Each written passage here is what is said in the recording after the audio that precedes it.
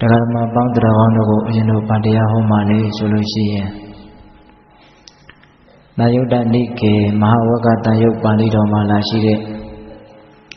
သစ္စာတန်ယုတ်ဆိုပြီးတော့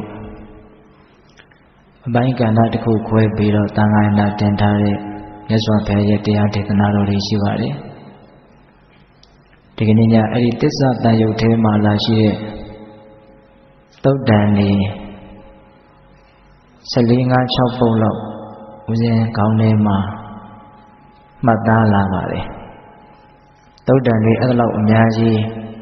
တထိုင်နဲ့နာရမှာဆိုတော့တရားကအရင်ကြီးများရှိမှလားလို့လည်းအောက်မေ့မနေနဲ့နော်သစ္စာတရားနဲ့ပတ်သက်ပြီးတော့တချို့လည်းပဲဒကာကြီးဒကာမကြီးများကြားဖို့ပြီးသားတွေပါ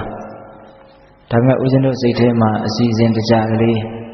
ပြောချင်ပါတယ်သစ္စာတန်ရုပ်မှာဟောထားတဲ့တုတ်တန်တွေကအများကြီးပါ ဘာကြောင့်ဒီသစ္စာတရားကိုဦးဇင်းတို့ဟောရတော့ဆိုတော့ဓမ္မကဏ္ဍကုသိုလ်ရှင်ဖြစ်တဲ့ဒကာကြီးဦးရဲကောင်ညွန့်ကသစ္စာနဲ့ပတ်သက်ပြီးတော့သူကလေးလေးနက်နက်ကြည်ကြည်ပြန့်ပြန့်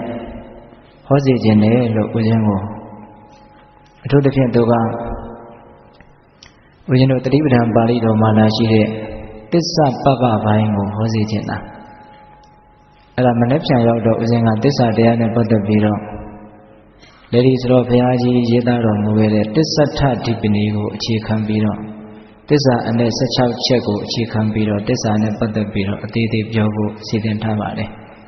ဒီနေ့တော့ဦးဇင်းကတစ္ဆာတရားဟာဘဝမှာသိဖို့အရေးအကြီးဆုံးဆိုတဲ့အချက်ကိုပြောချင်တာတစ္ဆာတန်ရုပ်ကိုဦးဇင်းတို့လေ့လာကြည့်တော့ကြည့်ရှုဦးဇင်းတို့လေ့လာကြည့်တဲ့အခါမှာ စိတ်ထဲမှာဘယ်လိုခံစားရတော့ဆိုတော့လောကမှာအရေးအကြီးဆုံးကတစ္ဆာလေးပါးကိုသိဖို့ပဲဆိုတဲ့ခံစားချက်ပေါ့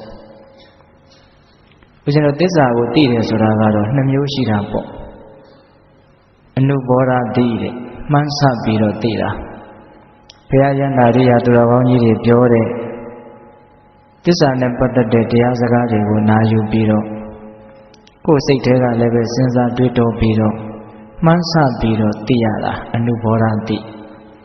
ဒီကနေ့ဦးဇင်းတို့ဟောတာကကိုလည်းပဲအနုဘောဓသိတောင်ပြည့်ပြည့်စုံစုံမရှိသေးပါဘူး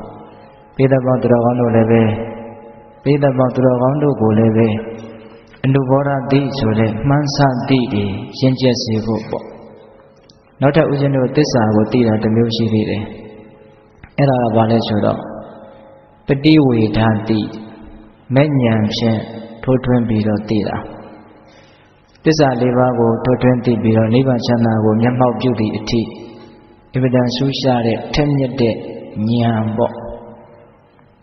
ပုထုဇဉ်အနွယ်ကိုဖြတ်ပြီးတော့အရိယာဇတ်ကိုရောက်သွားရောက်သွားစေတဲ့အတိပေါ့သစ္စာလေးပါးကိုပฏิဝေဒနဲ့ထိုးထွင်းသိပြီဆိုရင်ဒါအရိယာလို့ခေါ်ရတာပဲသစ္စာလေးပါးကိုပฏิဝေဒသိမသိသေးဘူးဆိုရင်ဒါပုထုဇဉ်နဲ့မှာပဲရှိသေးတယ်ပေါ့သူကတော့အရိယာအဖြစ်ကိုပြုတ်တဲ့ အင်မတန်မြင့်မြတ်တဲ့ဉာဏ်လို့ပြောရပါစို့အရိယာမဉဏ်ပေါ့ဒါဥစဉ်တို့ဒီသစ္စာတန်ရုပ်ကိုလေ့လာကြည့်တဲ့အခါမှာဘဝမှာသစ္စာလေးပါးကိုသိဖို့ရသည့်အရေးအကြီးဆုံးလို့ခေါင်းထဲမှာအဲ့ဒီအတွေ့လေးပေါ်လာတယ်ဒါကြောင့်မို့လို့ဒီနေ့တရားကောင်းစဉ်ကိုသစ္စာသိဖို့အရေးအကြီးဆုံးလို့ခေါင်းစဉ်တတ်ပါတယ်ဘာတရားလဲလို့မေးရင်တရားက အေးခေါင်းစဉ်ကလည်းပါအောင်မကိုဒီမှာတုတ်တန်တွေကအများကြီးထည့်ထားတာဆိုတော့တခုခုကိုရည်ရွယ်ပြီးတော့သူကတက်လို့ကမရဘူးဟုတ်လားဒါကြောင့်တစ္ဆာသိဖို့အရေးကြီးဆုံးလို့ဒါတရားရဲ့ခေါင်းစဉ်ကိုအဲ့ဒါလိုမှတ်ပြီးတော့တစ္ဆာတရားနဲ့ပတ်သက်ပြီးတော့ဒကာဓမ္မတို့ဦးဇင်းတို့ဓမ္မဘဟုတုတ္တတိုးစီဖို့ဆိုတဲ့ရည်ရွယ်ချက်ဖြင့်ဦးဇင်းတို့ဟောကြားရနာကြားရအောင်နော် ဒီတရားတော်ကိုမဟောကြားသေးခင်မနာကြသေးခင်မှာတရားတော်အလုံးကိုဟောကြားတော်မူခဲ့တဲ့ဘုရားရှင်ကိုတော်မြတ်ရဲ့အင်မတန်အေးချမ်းကြည်လင်တော်မူတဲ့မဟာကရုဏာကိုသိစေဟာတရားလုံးစုံကိုသိတော်မူမြင်တော်မူတဲ့တပ္ပိညုတဉာဏ်ဒီဟုသောပညာကိုဒုမဟာကရုဏာကိုပညာကိုနှစ်ပါးစုံတို့ဖြင့်ပြည့်စုံတော်မူတဲ့ဘုရားရှင်ကိုတော်မြတ်ကိုယူသေးမြတ်တို့ရှိခိုးပူဇော်ကြအောင်စို့ အလုံးလက်ဥချီမှုပြီးတော့အာယုံပြုကြရအောင်ကရုဏာတိတလဟရယပညာပိဇောတဝိဟတမောဟတမသာနရမရလောကကရုဝဏိဒုက္ကတံဂတိဝိမု ക്ത ကရုဏာတိတလဟရယမဟာကရုဏာတော်ဖြင့်အိမြသောစိတ်နှလုံးလည်းရှိတော်မူပါဝိထသော ပညာပိဇောတဝိဟတမောဟတမအရဟတမတိဟုသောအယောင်အလင်းဖြင့်ဝိဇ္ဇာတိဟုသောမိုက်မောင်ကိုဖေခွာတော်မူပြီးထသောသာနရမရလောကကရောလူနှင့်မြမတတဝနန္ဒတို့ဤကြောက်တီတန်တို့အလေးကလေးပြုရာတဆူရီသောဆရာသခင်လည်းဖြစ်တော်မူပါဝိထသောဂတိဝိမု ക്ത ံဒေဝမနုဿနိရယနှင့် ပေတတရိစ္ဆာလာယရှိငါတံသောဂတိတို့မာလိသူသဖြင့်ကင်းလွတ်တော်မူပြီးထသောသူကတတတဝါတို့ဟာအကျိုးများကြောင့်ဟုတ်မှန်သောတကားကောင်းကိုသာမျက်ရှိတော်မူပါပြီးထသောဗုဒ္ဓံသစ္စာလေးရတရားမြတ်ကိုလက်ပေါ်တင်ထားဗရမ ्या ကဲ့သို့ပြတ်သားခြင်းနဲ့သိမြင်ပေတတ်ဘုရားရှင်ကိုယ်တော်မြတ်ကြီးကိုမေယံတရားဟောပုဂ္ဂိုလ်တရားနာပုဂ္ဂိုလ်ခေါ်ဆိုပညာပရမတ်မမူ ယုံနာနှပြဖြစ်ကြပါသောဘုရားတပည့်တော်တို့သည်ဟောနေဝနာမှာကာယဝစီမနောချီ၍သုံးလီဒွါရပနာမဖြင့်ဒုက္ခယောကျိုးလက်စုံမောဃရှိခိုးဥညုတ်ပါဤမြတ်စွာဘုရား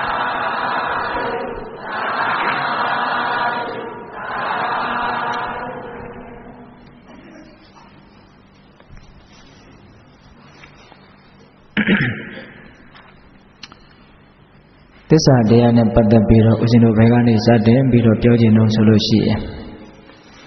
မြတ်စွာဘုရားဟောထားတဲ့တရားဒေသနာတော်တွေဟာသစ္စာ၄ပါးကလွတ်တဲ့တရားဆိုတာမရှိဘူးတဲ့ဦးဇင်းတို့တိတပါဝနသုတ်တံဆိုပြီးတော့မြတ်စွာဘုရားဟောထားတဲ့သုတ်တံတစ်ပုဒ်ရှိတယ်အဲ့ဒီသုတ်တံမှာမြတ်စွာဘုရားကဘာအမိန့်ရှိထားတယ်လဲဆိုတော့ အခါတစ်ပါးယဟန်တန်ဃာတွေခြံရံပြီးတော့ရင်းတိုက်တော်ကြီးတဲ့ကိုမြတ်စွာဘုရားရောက်နေတယ်ကြွေကြနေတဲ့ရင်းတိုက်ရွက်ကိုတဆုပ်လောက်မြတ်စွာဘုရားကောက်ပြီးတော့ယဟန်တန်ဃာတော်တွေကိုခြေသားတို့တဲ့ဟောဒီငါဘုရားရဲ့လက်တော်မှာရှိတဲ့ရင်းတိုက်ရွက်နဲ့ဒီရင်းတိုက်တော်ကြီးတတော်လုံးမှာရင်းတိုက်ပင်တွေပေါ်မှာရှိနေတဲ့ရင်းတိုက်ရွက်တွေဟာဘယ်ဟာကများသလဲလို့မေးတယ် အဲ့ဒီတော့အင်မတန်ကွာခြားပါတယ်ဗျာလက်တော်မှာရှိတဲ့ရင်တဲ့ယုတ်ကအနည်းငယ်မျှပါအဲ့တော့မြတ်စွာဘုရားကဘာမင်းရှိလဲဆိုတော့ငါဘုရားရဲ့လက်တော်မှာရှိတဲ့ရင်တဲ့ယုတ်ဟာအနည်းငယ်မျှဖြစ်တယ်လို့ပဲဟောဒီလောကကြီးမှာငါဘုရားသိရနဲ့ဟောတဲ့တရားသိရနဲ့မဟောတဲ့တရားအဲ့ဒါသိရနဲ့မဟောတဲ့တရားကရင်တိုက်တော်ကြီးထဲမှာရှိတဲ့ရင်တိုက်ရွက်များတစ်ဖွဲအများကြီးပဲ သိရနဲ့ဟောတဲ့တရားကလက်ထဲမှာရှိတဲ့ရင်သွဲရိုက်လို့ပဲရှိတယ်တဲ့ဆိုလိုတာကမြတ်စွာဘုရားတည်တော်မူမြင်တော်မူရဲ့နဲ့မဟောတဲ့လို့မဟောတိုက်လို့မဟောတဲ့တရားတွေကပို့ပြီးတော့များတဲ့ဘာဖြစ်လို့အဲ့ဒီတရားတွေကိုမြတ်စွာဘုရားမဟောတော့ဆိုတော့အဲ့ဒီတရားတွေကိုဟောကြားခြင်းအပြင်နာယူခြင်းအပြင်ညီငွေဖို့ရလည်းမဖြစ်နိုင်ဘူးအကျင့်မြတ်ရဲ့အစာလည်းမဟုတ်ဘူး ဒုက္ခခတ်သိမ်းချုပ်ငင်းခြင်းကလည်းမဖြစ်နိုင်ဘူးဆိုလိုဦးဇင်းတို့တူတူပြောရရင်တော့ဘာအကျိုးစီးပွားနဲ့မှလည်းမဆက်တဲ့အတွက်ကြောင့်အဲ့ဒီတရားတွေကိုမဟောတာပါတဲ့ဒါဖြစ်ရင်ဘာတရားတွေကိုဟောတာတော့ဆိုတော့သစ္စာ၄ပါးနဲ့ဆက်တဲ့တရားတွေကိုပဲမြတ်စွာဘုရားဟောတယ်တဲ့ဒါကဒုက္ခဒါကဆိုတာဒီခန္ဓာ၅ပါးကိုပြောတာဒီခန္ဓာဟာဒုက္ခသစ္စာ ဒီလောဘဆိုတဲ့လူကျင်တဲ့ရကျင်တဲ့ဖြစ်ကျင်တဲ့ဆိုတဲ့လောဘတရားတွေဒုက္ခဖြစ်ခြင်းရဲ့အကြောင်းတရားဒုက္ခသမှုရိယသစ္စာဟောဒီတဏှာလောဘချုပ်ရာနိဗ္ဗာန်ဆိုတဲ့သဘောတရားတွေဒုက္ခချုပ်ရပဲအဲ့ဒီဒုက္ခချုပ်ရာနိဗ္ဗာန်ဆိုတာကိုမျက်မှောက်ပြုကျင်နေဆိုရင်မဂ္ဂင်၈ပါးကိုပွားများရလိမ့်မယ်လို့ အဲ့ဒါလို့သစ္စာ၄ပါးနဲ့ဆက်တဲ့စကားသစ္စာ၄ပါးနဲ့ဆက်တဲ့တရားတွေကိုပဲမြတ်စွာဘုရားဟောပါတယ်တဲ့။ဘာဖြစ်လို့အဲ့ဒါကိုဟောရတော့ဆိုတော့အဲ့ဒီသစ္စာ၄ပါးနဲ့ဆက်သောတရားတို့ဒီသာလျင်အကျိုးစီးပွားနဲ့ဆက်တယ်အကျင့်မြတ်ရဲ့အစာလည်းဖြစ်တယ်ရင်းငွေဖို့ရန်လည်းဖြစ်တယ်ဒုက္ခခတ်သိမ်းချုပ်ငြိမ်းဖို့ရန်လည်းဖြစ်တယ်နောက်ဆုံးမဉ္ဇဉ်ပွဉ္ဇဉ်ဖြစ်နိဗ္ဗာန်ကိုမျက်မှောက်ပြုဖို့ရန်ဖြစ်တယ်တဲ့ ဒါကြောင့်မို့လို့သစ္စာ၄ပါးနဲ့ဆက်တဲ့တရားစကားကိုပဲမြတ်စွာဘုရားဟောတယ်တဲ့သစ္စာ၄ပါးဆိုတာဘာတွေလဲဆိုတာပေတပေါင်းတော်ကောင်းတို့အခြေခံအဖြစ်တော့အလုံးနားလည်ကြပြီသားဒါပေမဲ့သစ္စာဆိုတာပြောလို့နားထောင်လို့ဘယ်တော့မှရိုးသွားတဲ့သဘောမရှိဘူးသစ္စာဟဝေတာတုတရရတ္တနံဆိုတာလေးရှိတယ်အရသာတကအရသာထဲမှာတစ္ဆာရဲ့အရသာဒီအကောင်းဆုံးအချိုဆုံးအမိန်ဆုံးလို့မြတ်စွာဘုရားဟောထားတာ ဒါကြောင့်မို့လို့ရိုးမသွားတာပဲဟောဒီခန္ဓာမှန်သမျှဘု து ခန္ဓာပဲဖြစ်ဖြစ်ဟောဒီဘဝမှန်သမျှဘလူဘဝမျိုးပဲဖြစ်ဖြစ်တကယ်စင်စစ်ဆင်းရဲဒုက္ခမျှတာဖြစ်တယ်တဲ့ဒုက္ခသစ္စာလိုချင်တဲ့ရချင်တဲ့ဖြစ်ချင်တဲ့ဆိုတဲ့တဏှာလောဘသည်ဆင်းရဲဒုက္ခအားလုံးတို့ရဲ့အကြောင်းတရားဖြစ်တယ်တဲ့သမုဒယသစ္စာလောဘချုပ်ငြင်းခြင်းဒီသာလင်ဒုက္ခချုပ်ငြင်းခြင်းနိဗ္ဗာန်ဖြစ်တယ်တဲ့ အဲ့ဒီလောဘချုပ်ငြင်းပြီးတော့ဒုက္ခချုပ်ငြင်းရာဖြစ်တဲ့နိဗ္ဗာန်ကိုမျက်မှောက်ပြုကျင်တယ်ဆိုလို့ရှိရင်မမြဲတာကိုမမြဲဘူးလို့သိတယ်တမာဒိဋ္ဌိခေါင်းဆောင်တဲ့မဂ္ဂင်၈ပါးကိုပွားများကြရမယ်အဲ့ဒါကိုသစ္စာ၄ပါးလို့အကြံဉာဏ်တရားဓမ္မတို့ဦးဇင်းတို့နားလည်ထားကြရမယ်မှတ်သားထားကြရမယ်အဲ့တော့မြတ်စွာဘုရားကသစ္စာနဲ့ပတ်သက်ပြီးတော့ဘလောက်အလေးနဲ့ထားတယ်ဆိုလို့ရှိရင်ဘုရင်တို့ဝိတကတုတ်တန်ဆိုတာမှကြတော့ဘလို့ဟောထားလဲဆိုတော့ จิตသားတို့တဲ့တွေးမယ်ကြံမယ်ဆိုလို့ရှိရင်ကာမဝိတ္တဗျာပါဒဝိတ္တဝိဟိတဝိတ္တဆိုတဲ့အတွေးတွေအကြံတွေကိုမတွေးကြနဲ့မကြံကြနဲ့တဲ့နော်ကာမဝိတ္တဆိုတာကကာမဂုဏ်နဲ့ပတ်သက်ပြီးတော့စဉ်းစားတဲ့အတွေးပေါ့ဗျာပါဒဝိတ္တဆိုတာကတော့တစုံတစ်ယောက်တစုံတစ်ခုသောအခြေအနေနဲ့ပတ်သက်ပြီးတော့မကြည်မနှက်တွေးနေတဲ့အတွေးပေါ့ ဝိဟိန္ဒဝိတ္တဆိုတာကတော့မကြည်နဲ့တဲ့အဆင့်နဲ့မကတော့ဘဲနဲ့ငါကတော့နှိမ့်ဆက်တော့မယ်ဒီလူကိုသွားပြီးတော့ညှင်းဆဲတော့မယ်ပြောလိုက်တော့မယ်ပြုတ်လိုက်တော့မယ်ဆိုသည့်အထိတွေးလာတဲ့အတွေးပေါ့အဲ့ဒါဝိဟိန္ဒဝိတ္တအဲ့ဒီလိုကာမဝိတ္တဗျာပါဒဝိတ္တဝိဟိန္ဒဝိတ္တဆိုတဲ့အတွေးမျိုးမတွေးနဲ့တဲ့အဲ့ဒါဒီတွေးခြင်းအပြင်ဘာအကျိုးမှမရှိနိုင်ဘူးညီငွေဖို့လည်းမဖြစ်ဘူးမဲ့ညာပူညာရဖို့လည်းမဟုတ်ဘူးဒုက္ခခတ်သိငြိမ်းဖို့လည်းမဟုတ်ဘူးငြိမ်းချမ်းဖို့မဖြစ်နိုင်ဘူးပေါ့ အဲ့တော့တွေးမယ်ဆိုလို့ရှိရင်ဘာတွေးတဲ့နှုံးဆိုတော့အော်ဒီခန္ဓာဟာဆင်းရဲတရားမျှတာလို့အဲ့ဒီအတွေးလေးတွေးပါတဲ့ပိဋကရဲ့လက်တွေ့ကျင့်သုံးဖို့နော်ငါခန္ဓာဒုက္ခန္ဓာဘဒုခန္ဓာပဲဖြစ်ဖြစ်ဒါတွေဟာဆင်းရဲတရားတွေကြီးပဲလို့ဒီနေရာမှာဆင်းရဲဆိုတာကကိုဖြစ်ချင်တာမဖြစ်လို့ခန္ဓာကိုယ်ပေါ်မှာဒုက္ခရောက်လို့အလိုမပြည့်တဲ့ဆင်းရဲလောက်ကိုရည်ရွယ်ပြီးတော့ပြောတာမဟုတ်ဘူးနော် ဒလဇက်ပြောင်းလဲနေလို့ကောင်းလို့လည်းထိန်းထားလို့မရဆိုးလို့လည်းထိန်းထားလို့မရပြီးဆုံးပြီးဆုံးလိုက်နေလို့ဖြစ်ပေါ်လာတိုင်းဖြစ်ပေါ်လာတိုင်းတော့တဘာဝတရားတွေဟာချုပ်ပြောက်ချုပ်ပြောက်သွားတာကြီးပဲမှုတ်လို့အကောင်းမဟုတ်ဘူးဆိုတဲ့အချက်ကလေးတနည်းအားဖြင့်အနိစ္စကိုမြင်လို့မကောင်းဘူးလို့သိတဲ့အသိပေါ့နော်ဒါကြောင့်ကိုယ်ခန္ဓာဒုက္ခန္ဓာကိုယ်ဘဝသူ့ဘဝဘယ်ဘဝပဲဖြစ်ဖြစ်ဆင်းရဲတရားတွေပဲလို့တွေးပြရမယ် လိုချင်တယ်ရချင်တယ်ဖြစ်ချင်တယ်ဆိုတဲ့လောဘတရားတွေဒုက္ခတွေကိုဖြစ်စေလိမ့်မယ်လို့ဒီအတွေးကိုတွေးရမယ်ဒါအလွန်မှန်တဲ့အတွက်ကြောင့်ဒီအတွေးဟာမြင့်မြတ်တဲ့အဆင့်တစ်ဆင့်ကိုရောက်အောင်တွန်းအားပေးလိုက်မယ်ဘဝမှာလောကချုပ်သွားမှလောဘချုပ်သွားမှသာလျှင်ဒုက္ခတကယ်ချုပ်တဲ့နိဗ္ဗာန်ဆိုတာကိုမျက်မှောက်ပြုနိုင်လိမ့်မယ်လို့ဒီအတွေးတွေးရမယ်အဲ့ဒီလောဘချုပ်ပြီးတော့ဒုက္ခတကယ်ချုပ်တဲ့ချမ်းသာတဲ့ချမ်းသာမှန်ကိုလူကျင်တယ်ရကျင်တယ်မျက်မှောက်ပြုကျင်တယ်ဆိုလို့ရှိရင် ဖြစ်ပေါ်တိုင်းသောယုံ nant ဓမ္မတဘာဝတရားတွေရဲ့မမြဲတဲ့အနိစ္စအချက်ကိုအမှန်တိုင်းသိတဲ့မြင်တဲ့တမာဒိဋ္ဌိခေါင်းဆောင်တဲ့မဂ္ဂင်၈ပါးကိုပွားများရမှာပါလားလို့အဲ့ဒီအတွေ့တွေးရမယ်သစ္စာ၄ပါးနဲ့ပတ်သက်တာကိုတွေးထရမယ်ပြည့်တဲ့ဒါအနုဘောဓဉာဏ်နဲ့တွေးနေတာနော်ဒီအတွေးဟာဒါသစ္စာကမ္မထံလို့လည်းဆိုတယ်ဒီအတွေးတွေဒီစိတ်အလုတ်ကိုကြိုးစားနေလို့ရှိရင်သူလည်းပဲမဉဏ်ပူညာကိုမျက်မှောက်ပြုနိုင်တာပဲ နိဗ္ဗာန်ကိုမျက်မှောက်ပြုနိုင်တာပဲဟုတ်ရဲ့လားဒါကြောင့်ဘဝတည်ဆင်းရဲလို့ဒီအတွေးလေးကိုအခြေချက်ပြီးတော့တွေးပါဟုတ်လားလောဘတည်ဆင်းရဲကိုဖြစ်စေတဲ့အရာပြောခဲ့ပြီနော်လောဘချုပ်ခြင်းတည်တာနဲ့ဒုက္ခချုပ်ခြင်းဒီအခြေအနေကိုရကျင်နေဆိုရင်မဂ္ဂသစ္စာကိုပွားများရမယ်ဒီလိုတွေးပါတဲ့ဒါပြီးသားလျင်အကျင့်မြတ်ရဲ့အစာလည်းဖြစ်တယ်အကျိုးလည်းအင်မတန်ရှိတယ်ငြိမ်းချမ်းမှုလည်းဖြစ်စေတယ် နောက်ဆုံးမဉ္ဇဉ်ဘုံဉဏ်အတိတုဉဏ်တို့ကိုရပြီးတော့ဒုက္ခခတ်သိငြိမ်းစေနိုင်တယ်ဒါကြောင့်ဒီပြင်အတွေးတွေတန်ဖိုးမရှိတဲ့အတွေးတွေမတွေးပါနဲ့တဲ့မတွေးပဲမနေနိုင်လို့တွေးမယ်ဆိုရင်တစ္ဆာလေးပါးကိုတွေးပါဆိုတဲ့အတိပဲလို့အကြံဉာဏ်နားလည်ရမှာပေါ့နောက်ပြီးတော့မြတ်စွာဘုရားကဘာဆက်အမိန့်ရှိတော့ဦးဇင်းတို့တိစ္ဆာနာကထာအဲ့ဒီတုတ်တန်တစ်ခုရှိတယ်ပြီးတော့လူတွေဟာညှင်းခုန်နေကြတယ်ပြောဆိုနေကြတယ် ဒီနှုတ်ကများသောအားဖြင့်တော့တွတ်တွတ်ထွက်နေတဲ့စကားတန်ကပြောနေတဲ့စကားတွေဟာဘယ်လိုစကားတွေလဲဆိုရင်ဦးဇင်းတို့အဲ့ဒီတိစ္ဆာနာကထာဆိုတဲ့တုတ်တန်မှာပေးထားတဲ့နာမည်ကတော့ရင်းရင်တီးတီးပဲတိစ္ဆာနာကထာဆိုတော့တိစ္ဆာန်စကားပေါ့နော်။ဘာပြောထားတော့ဆိုတော့မင်းနဲ့ဆက်သောစကားတဲ့အမတ်နဲ့ဆက်သောစကားတဲ့စစ်နဲ့ဆက်သောစကားတဲ့စကားကို28မျိုးလောက်ပြောထားတယ်အဲ့ဒီထဲမှာ လမ်းနဲ့ဆက်သောစကားမြို့နဲ့ဆက်သောစကားရွာနဲ့ဆက်သောစကားဇနဘုတ်နဲ့ဆက်သောစကားအမျိုးသမီးတွေနဲ့ဆက်သောစကားခုခေတ်ဆိုရင်တော့အမှုပညာတွေနဲ့ဆက်သောစကားအများကြီးပါပဲအဲ့ဒီမှာဒကာဓမ္မတို့ဦးရှင်တို့နေ့စဉ်ပြောနေကြစကားတွေပဲအများစုကအဲ့ဒီလိုစကားမျိုးကိုမပြောတဲ့မို့တဲ့မြတ်စွာဘုရားကဒါကယဟန်တော်ကြီးကိုဟောနေတာဘူးဟုတ်လား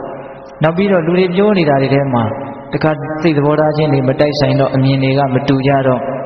ဒီနှုတ်ကိုပဲအသုံးချပြီးတော့ဘာလုပ်နေကြတော့ညင်းခုန်နေကြတယ်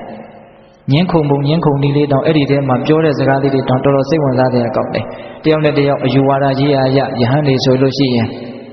ဒီတမနာပြမနာအမိခံတဲ့ပုဂ္ဂိုလ်တွေဟာအချင်းချင်းတွေ့လာတဲ့အခါမှာမင်းကဘလောက်သိလို့တော့မင်းသိထားတဲ့အသည့်တွေကသိပြီးတော့ရှေ့မရောက်ပါဘူးမင်းတစ်တလုံးလေ့လာထားတဲ့ သိထားတဲ့အသည့်တွေကမင်းစီကိုပြန်လှည့်လာပြီဒါကြောင့်မင်းငါ့ကိုနိုင်အောင်ပြောနိုင်ဖို့အတွက်တော့အများကြီးစူးစမ်းလိုက်အောင်အခုခေတ်ပြောတာခင်ဗျတော်တော်တူတယ်သိလားအဲ့လိုမျိုးညင်းတာခုံတာတွေရှိတယ်တဲ့အဲ့ဒီလိုစကားမျိုးတွေကိုမပြောနဲ့တဲ့မပြောဘဲမနေနိုင်လို့ပြောမယ်ဆိုရင် သစ္စာနဲ့ဆက်သောစကားကိုပြောပါတဲ့ဟောလာခြင်းပြီနော် လူချင်းချင်းပြောရင်လိမ့်လိမ့်မမပါပါနဲ့နဲ့ပြောတတ်ဖို့တော့လုပ်မယ်ဒါကကိုကသစ္စာနဲ့ပတ်သက်ပြီးတော့အမြင်ကတော်တော်ကိုကြည်ကြည်ပြန့်ပြန့်နက်နက်ရှိုင်းရှိုင်းသိထားမယ်ဆိုရင်မပြောတတ်စရာတော့မရှိဘူးဒီတွေ့ကြုံနေရတဲ့အခြေအနေဒီဘဝဟာအကောင်းမဟုတ်ဘူးဆိုတာကိုတိုက်ရိုက်ပြောရင်လည်းရတယ်တွယ်ဝိုက်ပြီးတော့ပြောရင်လည်းမရဘူးလားရတယ်နော်ဒါကတော့နားထောင်မဲ့လူရဲ့အခြေအနေကိုကြည့်ပြီးတော့ပြောရမှာပေါ့ဟုတ်ရလားအေးအဲ့လိုသစ္စာနဲ့ဆက်သောစကားကိုပြောရမယ်ခုနကတော့ငါသစ္စာလေးပါပြောခဲ့ပြီနော်ဘဝဆိုတာဆင်းရဲပါ မင်းလူချင်းရချင်းနေရင်ကတော့ဆင်းရဲနေမှာပဲပင်ပန်းနေမှာပဲဆိုတဲ့စကားမျိုးပေါ့တကယ်ဒုက္ခငြိမ်းတယ်ဆိုတာကလူချင်းမှုမရှိမှဖြစ်တာပါ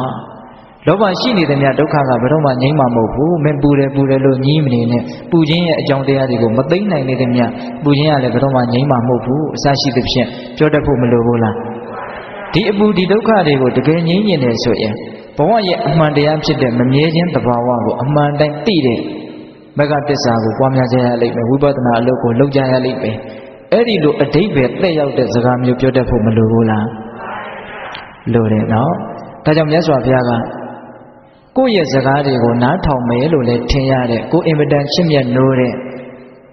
သူ့ရဲ့အကျိုးစီးပွားကိုလည်းကိုကတကယ်လိုလားတယ်ဆိုတဲ့ကိုနဲ့သိရင်းနှီးတဲ့သွေးရင်သားရင်နေမရှိဘူးလားရှိတယ်အဲ့ဒါနားထောင်မယ်လို့လည်းထင်တယ်ဆိုလို့ရှိရင် အဲ့ဒီလူတွေကိုတစ္ဆာ၄ပါးကိုပြောပြီးတော့တစ္ဆာ၄ပါးကိုသိတဲ့အသိဉာဏ်ရအောင်လုပ်ပေးပါတဲ့အဲ့ဒါသူ့အတွက်အကောင်းဆုံးအကျိုးဆောင်ပေးတယ်ဆိုတဲ့အဓိပ္ပာယ်ပါပဲဟုတ်ရဲ့လားအေးဒါကြောင့်ပိဿပေါင်းသူတော်ကောင်းတို့တစ္ဆာနဲ့ပတ်သက်ပြီးတော့ဦးဇင်းတို့ပြောမယ်ဆိုရင်တော့ပြောလို့မကုန်ဘူးပေါ့တစ္ဆာနဲ့ပတ်သက်ပြီးတော့ပြောရင်ပြောလို့မကုန်ဘူးဆိုတာကိုလည်းမြတ်စွာဘုရားကသင်္ကာသနတုတ်တံမှာဟောထားတာရှိတယ်ဘလို့ဟောထားတော့ဆိုတော့ จิตသားတို့တဲ့ဒီသစ္စာလေးပါးနဲ့ပတ်သက်ပြီးတော့ဥပမာဟောဒီခန္ဓာကြီးဟာဤအကြောင်းဤအကြောင်းကြောင့်လည်းဆင်းရဲပဲဟိဒီအကြောင်းဒီအကြောင်းကြောင့်လည်းဆင်းရဲပဲဟိလို့အခရာတွေရေးပါတဲ့စာတွေရေးပါအခရာဆုံးမမဟုတ်ဘူးဖြီးတွေလည်းဆုံးမမဟုတ်ဘူးဝေဖန်ချက်တွေလည်းဆုံးမမဟုတ်ဘူးတဲ့ဟောဒီလောဘဟာဤအကြောင်းဤအကြောင်းကြောင့်ဒုက္ခကိုဖြစ်စေတဲ့တရားလို့မှန်မှန်ကန်ကန်ရေးချလိုက်ပါအခရာတွေဖြီးတွေမဆုံးမဘူးဝေဖန်ချက်တွေမဆုံးမဘူးတဲ့အင်မတန်ကျေဝန်းတယ်ပေါ့ ကျဝင်းပဲပဲလို့ဦးဇင်းတို့ဒါကြိုးစားပြီးတော့ပြောရမှာပဲပြီးတော့သစ္စာလေးပါးဆိုတာအင်မတန်နဲ့နဲတယ်ခက်ခဲတယ်တဲ့အဲ့ဒါကိုဦးဇင်းတို့ဝါလတုတ်တံဖြင့်မြတ်စွာဘုရားဟောထားတာကိုတွေ့ရတယ်အရှင်အာနန္ဒာကဆွမ်းခံသွားရင်းနဲ့ဝေဒာလီပြည်ထဲမှာလိတ်ဆွေမင်းသားလေးတွေကမြားပြစ်လက်ကျင့်နေတာအဲ့ဒါလိုလေ့ကျင့်တာကတော်တော်စွမ်းတယ်အဝေးကြီးကနေပြစ်ထည့်လိုက်တာအဲ့ဒါမြားတံက ဒီဥဒင်းတို့တော့ခောက်ပေါက်လို့ဆိုတဲ့တန်ခောက်အပေါက်ကလေးတွေကိုတန်းကနေဝင်သွားတယ်အဲ့ဒါဟိုဘက်မှာလည်းအပေါက်လေးရှိတယ်အဲ့ဒီတည်းလည်းဝင်သွားတယ်အဲ့ဒါကိုကြည့်ပြီးတော့ရှင်အာနန္ဒာကအလွန်အံ့ဩတယ်။အော်ဒီမင်းသားငယ်လေးတွေဟာကောင်းကောင်းလေ့ကျင့်ထားကြတာကိုစွန့်လိုက်တာ။အဲ့ဒါအံ့ဩလုံးလို့မနေနိုင်တော့မြတ်စွာဘုရားတည်ရောက်တော့မြတ်စွာဘုရားကိုလျှောက်တယ်။လေးချွေမင်းသားငယ်လေးတွေလေးပြည့်ကျွမ်းတဲ့အကြောင်း။အဲ့ဒီမှာမြတ်စွာဘုရားကစိတ္တအနန္ဒာတဲ့။အဲ့လိုလေးပြည့်ကျွမ်းတဲ့လူရေ နောက်ထပ်လူတဦးရှိသေးတယ်ဆိုကြပါစို့။အဲ့ဒီလူကတော့သားမီးပြားကိုခုနှစ်စိတ်စိတ်ထားတယ်။မျက်စိနဲ့မြင်ဖို့တောင်တော်တော်ခဲရင်သွားပြီနော်သားမီးပြားလေးကိုခုနှစ်စိတ်စိတ်ထားတယ်အဲ့ဒီသားမီးပြားချင်းဖောက်သွားအောင်ထိုးနိုင်တယ်တဲ့ထိတ်ထိတ်ချင်းခုနတုန်းကတန်ကောက်ပေါက်တဲ့ကိုမြားတန်လေးဝင်အောင်ပြစ်နိုင်တဲ့လူနဲ့ခုနှစ်စိတ်စိတ်ထားတဲ့သားမီးပြားအချင်းချင်းထုတ်ဖောက်သွားအောင်ပြစ်နိုင်တဲ့လူဘယ်သူကပိုခဲရင်မလဲတဲ့သားမီးပြားခုနှစ်စိတ်စိတ်ထားတာကိုထိအောင် ထုတ်ချင်းဖောက်သွားအောင်လုပ်ဖို့ရကပို့ပြီးတော့ခဲရင်တယ်အေးအဲ့ဒါတဲ့ပစ္စာလေးပါးကိုသိဖို့ရကပိုခဲရင်းနေတဲ့မြတ်စွာဘုရားကဟုတ်လား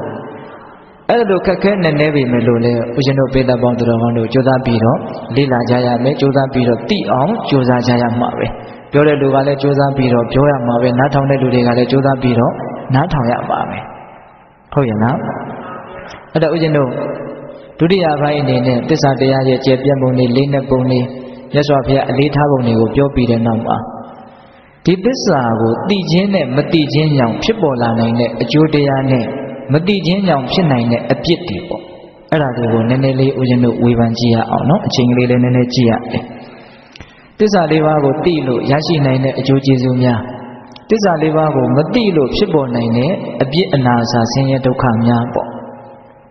အဲ့ဒါဦးဇင်းတို့မြတ်စွာဘုရားယဟန်တော်တွေကိုဥပမာလေးနဲ့ဟောထားတယ်စိတ္တတို့တဲ့ရှားရွက်တို့ရှစ်ရှားရွက်တို့ထင်းရှူးရွက်တို့ဖြင့်ရေထုတ်ပြီးတော့ရေခွက်လှုပ်ပြီးတော့တောက်မယ်ဆိုရင်ဒါဘယ်လိုမှမဖြစ်နိုင်ဘူးတဲ့အဲ့လိုပဲသစ္စာလေးပါးကိုမသိဘဲနဲ့ဒုက္ခငြိမ်းတယ်လို့ပြောတဲ့ပုဂ္ဂိုလ်ရဲ့စကားဟာဘယ်လိုမှမဖြစ်နိုင်ဘူးတဲ့ ဆိုလိုတာကသစ္စာလေးပါးကိုမသိဘဲနဲ့ဆင်းရဲဒုက္ခတွေမငြိမ်းနိုင်ဘူးလို့ပြောတာကြာရွက်တို့ပေါက်ဖက်တို့နဲ့တစုံတယောက်သောပုဂ္ဂိုလ်ကခွက်ကလေးလှုပ်ပြီးတော့ရေထက်ပြီးတော့တောက်ခဲ့တယ်လို့ပြောမယ်ဆိုရင်တော့ဒါယုံလိုက်ပါဖြစ်နိုင်တယ်အဲ့ဒါလိုပဲသစ္စာလေးပါးကိုသိလို့ငါဒုက္ခတွေငြိမ်းသွားပြီလို့ပြောရင်တော့ယုံလိုက်ပါဒါဖြစ်နိုင်နေတဲ့ဆိုလိုတာကသစ္စာလေးပါးကိုသိမှဆင်းရဲဒုက္ခအလုံးဟာချုပ်ငြိမ်းပါ ဒီနေရာမှာပฏิဝေဒတိကိုရည်ရွယ်ပြီးတော့ပြောတာနော်အဲ့ဒီပฏิဝေဒတိဆိုတာလည်းဘယ်ကစရလဲအနုဘောဓတိကစရတာအဲ့ဒါလိုဟောထားတဲ့သုတ်တန်တစ်ခုလည်းရှိတယ်နောက်ထပ်ဥယျာဉ်တို့မြတ်စွာဘုရားဟောထားတဲ့သုတ်တန်တစ်ခုကုတာကာရသုတ်တန်နဲ့ဆိုကြပါစို့တဲ့ပြတ်သက်တစ်ခုတိဆောက်တော့မယ်ဆိုလို့ရှိရင်အောက်ပိုင်းကိုမတိဆောက်ရဘဲနဲ့တိုင်လေးပါးတွေတောင်မဆိုင်ရသေးဘဲနဲ့ အထက်ပိုင်းဘုံဆောင်တွေပြတ်သက်တွေတင်လို့ရတယ်လို့ပြောရင်ဒါဘယ်လိုမှမဖြစ်နိုင်ဘူးတဲ့အဲ့လိုပဲသစ္စာလေးပါးကိုမသိဘဲနဲ့ဒုက္ခချုပ်တယ်ဒုက္ခငြိမ်းတယ်လို့ပြောရင်ဒါဘယ်လို့မှမဖြစ်နိုင်ဘူးတဲ့ပေါ်လွင်အောင်မြတ်စွာဘုရားကဥမာအမျိုးမျိုးပေးတာပါအောက်ပိုင်းကိုတိဆောက်ပြီးတော့မှအထက်ပိုင်းဆိုတာတင်လို့ရတာဟုတ်လားအဲ့ဒါလိုပဲသစ္စာလေးပါးကိုတိမှဒုက္ခဆိုတာငြိမ်းတာ အဲ့တော့ဦးဇင်းတို့ပိဋကပေါင်းတော်ကောင်းတို့မှတ်ရမှာကသစ္စာကိုတကယ်မသိသေးသေးမြဆင်းရဲဒုက္ခတကယ်မငြိမ်းဘူးဆင်းရဲဒုက္ခတကယ်ငြိမ်းရင်လည်းဆိုရင်သစ္စာလေးပါးကိုပฏิဝေဒဒိဋ္ဌိရောက်အောင်ကြိုးစားဖို့မလိုဘူးလားလိုတယ်အဲ့တော့ဦးဇင်းတို့တုတ်တန်ရဲ့ခေါင်းစဉ်လေးတွေကိုမှတ်လာရတယ်ပြောကျင်တာလေးတွေကြံနေပြမှာဆိုလို့ဟုတ်ရဲ့လားဒါကြောင့်သစ္စာလေးပါးကိုသိမှသာရင်ဒုက္ခတွေဟာငြိမ်းနိုင်မယ် သစ္စာလေးပါးကိုမသိမချင်းဒုက္ခဟာမငြိမ်းနိုင်ဘူးဒါကြောင့်မြတ်စွာဘုရားကယဟန်တော်တွေကိုသစ္စာလေးပါးကိုမသိသေးလို့ငါဘုရားတို့ရောသင်္ချစ်သားတို့ရောတန်တရားကာလမှာရှည်လျားစွာပြေးလွှားကျင်လေကျက်စားခဲ့ရဘူးပြီလို့ခေါ်ထားတဲ့ဒေသနာတွေအများကြီးမရှိဘူးလားရှိတယ်ဒါကြောင့်သစ္စာလေးပါးကိုအ ਨੇ ဆုံးတော့သောတပတ္တိမဉ္ဇဉ်ဖြင့်ထွထွင်းပြီးတော့သိအောင် ဒီသာသနာနဲ့ဒီခန္ဓာမကွဲသေးခင်မှာငါကြိုးသားသင့်တယ်ဆိုတဲ့အတွေ့ကလေးမတွေ့သင့်ဘူးလားတွေ့သင့်တယ်တကယ်လို့သာသောတပတ္တိမဉ္ဇဉ်ကိုတရားဓမ္မတို့ဦးဇင်းတို့တွေရအောင်ကြိုးစားနိုင်လို့တစ္ဆာလေးပါးကိုပฏิဝေဒတိထိုးထွင်းပြီးတော့သိမယ်ဆိုလို့ရှိရင်မြတ်စွာဘုရားကဘယ်လောက်ထိဟောထားလဲဆိုတော့ဦးဇင်းတို့နခတိခသုတ်တံဆိုတာရှိတယ်ပြောနေကြပါပဲလက်သေးပြားပေါ်မှာမြေမှုံလေးတွေကိုတကိုးတော်နဲ့တင်ပြီးတော့ ဒီမြေမှုံနဲ့မဟာပတိမြေကြီးမှာရှိတဲ့မြေမှုံဘယ်ရာကများလဲလို့ယဟန်တော်တွေကိုမေးတာမေးတော့ယဟန်တော်တွေကမနိုင်ရှင်တော့ပါဘူးဘုရားဆိုတော့မြတ်စွာဘုရားကစိတ္တတို့တဲ့အဲ့ဒီဥပမာအတိုင်းပဲသောတပတ္တိမဉ္ဇဉ်ပူဉ္ဇဉ်ကိုရလို့တစ္ဆာလေးပါးကိုထိုးထွင်းသိပြီးတဲ့ပုဂ္ဂိုလ်တယောက်အတွက်ကုန်ခန်းသွားတဲ့ဒုက္ခတွေဟာမဟာပထဝီမြေကြီးမှာရှိတဲ့မြေမုံလောက်များတယ်တဲ့။ကြံတဲ့ဒုက္ခဟာ လက်သေးပြားပေါ်မှာရှိတဲ့မြေမုံလောက်ပဲကျန်တော့တယ်တဲ့။ဆိုလိုတာကသစ္စာလေးပါးကိုသိပြီးပြီဆိုရင်လာမယ့်အနာဂတ်မှာငါဒုက္ခတွေကဘလောက်ပဲကြံတော့တယ်လို့ပိုင်းခြားလို့ဝေဖန်လို့ရသွားပြီ။တရားဓမ္မတို့ဦးဇင်းတို့ပုထုဇဉ်တွေမှာတော့လာမယ့်အနာဂတ်မှာဒုက္ခတွေဟာဘလောက်ကြံတော့တယ်လို့ပိုင်းခြားသတ်မှတ်လို့မရနိုင်သေးဘူးနောက်ထပ်မြတ်စွာဘုရားအဲ့ဒီလိုဟိုစင်စင်တူတဲ့ဥပမာတွေ နေရာဒေသပုဂ္ဂိုလ်အားလျော်ဆိုအမျိုးမျိုးဟောထားတာရှိပါတယ်ဟိုမြေကြီးပေါ်မှာဇီးရီလောက်ရှိတဲ့မြေကြီးလုံးလေးခုနှလုံးလောက်ချပြီးတော့ဒီမြေကြီးခုနှလုံးနဲ့မဟာပထဝီမြေကြီးမှာရှိတဲ့မြေကြီးတွေဘယ်ဟာကများလဲလို့မေးပြီးတော့ဒီပုံစံထပ်ဟောထားတာရှိတယ်နောက်ပြီးတော့မဟာသမုဒ္ဒရာထဲမှာရေတွေဟာ20 30လောက်ပဲကြံပြီးတော့ကျန်တဲ့ရေတွေအကုန်ခန်းသွားတယ်ဆိုကြပါစို့တဲ့ ခန်းသွားတဲ့ရေတွေနဲ့ဒီ20 30တော့ကျန်နေတဲ့ရေဟာဘယ်လိုမှနှိုင်းရှင်လို့မရအောင်ပမာဏကွာခြားလွန်းလာတယ်အဲ့ဒီဥပမာတိုင်းပဲသစ္စာလေးပါးကိုပฏิဝေဒဉာဏ်နဲ့ထိုးထွင်းသိပြီးပြီဆိုရင်တော့သူ့ရဲ့ကြံတဲ့ဒုက္ခဟာ20 30မြတော့ရေပမာကုံသွားတဲ့ဒုက္ခတွေဟာခုနတော့ကသမုဒ္ဒရာကြီးတွေကအာလုံးသောရေတွေတဖွယ်ဒါကုန်ခန်းသွားပြီဒါကြောင့်သစ္စာလေးပါးကိုပထမအဆင့်အနေနဲ့သိပြီးပြီဆိုရင်ပဲအ ਨੇ ဆုံး အများဆုံးခုနှစ်ဘဝနေပြီးရင်ဒါအငြင်းကြီးငြင်းရတော့မယ်အချမ်းသာကြီးချမ်းသာရတော့မယ်ရှေ့သို့သာလည်းရှိတယ်နောက်သို့ဆိုတာမရှိဘူးအတက်เสียမကောင်းဘူးလားအေးစူးစမ်းရမှာနော်ဒါသစ္စာလေးပါးကိုသိချင်းကြောင့်ဒါကတော့ပရိဝေဒအဆင့်ပေါ့နော်အဲ့ဒီပရိဝေဒအဆင့်ဆိုတာလည်းခုနတုန်းကစဉ်းစားခြင်းဆင်ခြင်ခြင်းကြိုးစားခြင်းအထုတ်ခြင်းဆိုတာနဲ့ကင်းပြီးတော့ဖြစ်နိုင်မလားမဖြစ်နိုင်ဘူးဒါမြတ်စွာဘုရားကသစ္စာလေးပါးကိုသိခြင်းရဲ့အကျိုးကျေးဇူးဟာဘလောက်ကြီးသလဲဆိုတာကို ကြံတဲ့ဒုက္ခနဲ့ကုံတဲ့ဒုက္ခကိုနှိုင်းရှင်ပြီးတော့ပြောပြတာတရားဓမ္မတို့ဥရှင်တို့ကုထုဇဉ်တွေမှာတော့မလုံနိုင်တဲ့မလုံရဲတဲ့အကုသိုလ်ဆိုတာလည်းအခုချိန်ထိမရှိသေးဘူးလှုပ်ခွင့်ကြုံရင်လှုပ်အောင်မှာဟုတ်ရဲ့လားမလုံရဲတဲ့အကုသိုလ်မရှိတဲ့အတွက်ကြောင့်မလုံနိုင်တဲ့အကုသိုလ်မရှိတဲ့အတွက်ကြောင့်မဖြစ်နိုင်တဲ့ဒုက္ခလို့လည်းမရှိဘူးဖြစ်ခြင်းနဲ့ဆင်းရဲဖြစ်အောင်မှာပဲဟုတ်လားအတိတ်တန်တရားကပြုခဲ့တဲ့အကုသိုလ်တွေကလည်းမပေရသေးဘူး နောက်မှလည်းအကုသိုလ်ပြုခွင့်ဆိုတာကလည်းအနုတ္တရကရှိနေတော့ပြုခွင့်ကြုံရင်ပြုအောင်မှပြောခွင့်ကြုံရင်ပြောအောင်မှတွေးခွင့်ကြုံရင်တွေးအောင်မှအဲ့ဒီအချက်တွေအဲ့ဒီအကြောင်းတရားတွေကိုကြည့်ပြီးတော့ရရှိမဲ့အနာဂတ်ဒုက္ခအကျိုးတရားတွေဟာဘယ်လောက်ပါလို့ကန့်တတ်လို့မရနိုင်ဘူးဒါကြောင့်တစ္ဆာလေးပါးကိုသိအောင်ကြိုးစားကြဖို့မလိုဘူးလားလိုတယ်နောက်ပြီးတော့ဦးဇင်းတို့ဒန္တတုတ်ဆိုပြီးတော့ဟောထားတယ်အဲ့ဒါကဘာဟောထားတော့ဆိုတော့ယဟန်တို့တဲ့ ဒုတ်တစ်ချောင်းကိုကောင်းကင်ကိုမြှောက်လိုက်မယ်ဆိုလို့ရှိရင်အဲ့ဒီဒုတ်ဟာတေချာပေါက်ရေကြီးပေါ်ကိုပြန်ကျမှာပဲအဲ့ဒါလိုကျတဲ့အခါမှာအရင်ကလည်းကြခြင်းကြမယ်အဖျားကလည်းကြခြင်းကြမယ်ဘလို့ကြလိမ့်မယ်လို့တော့မပြောနိုင်ဘူးကြခြင်းလည်းလို့ကြမယ်ပေါ့အဲ့လိုပဲသစ္စာလေးပါးကိုသာမသိသေးဘူးဆိုရင်တော့ဒီပုဂ္ဂိုလ်ဟာဤဘဝကနေထိုဘဝကိုရောက်လိမ့်မယ်ထိုဘဝကနေဤဘဝကိုလည်းရောက်လိမ့်မယ်အကျေတဝန်ပြောရရင်တော့ယုံညံ့တဲ့ဘဝကိုလည်းရောက်နိုင်တယ်မြင့်မြတ်တဲ့ဘဝကိုလည်းရောက်နိုင်တယ် ဖြစ်ချင်တာဖြစ်နိုင်တယ်ဘာမှသူ့ကိုတရတည်တတ်မှတ်လို့မရသေးဘူးတစ္ဆာလေးပါးကိုမသိသေးတော့စိတ်တွေကမငြိမ်သေးတော့ဘဝတွေလည်းငြိမ်တယ်လို့ပြောလို့ရမလားမရဘူးဟုတ်လား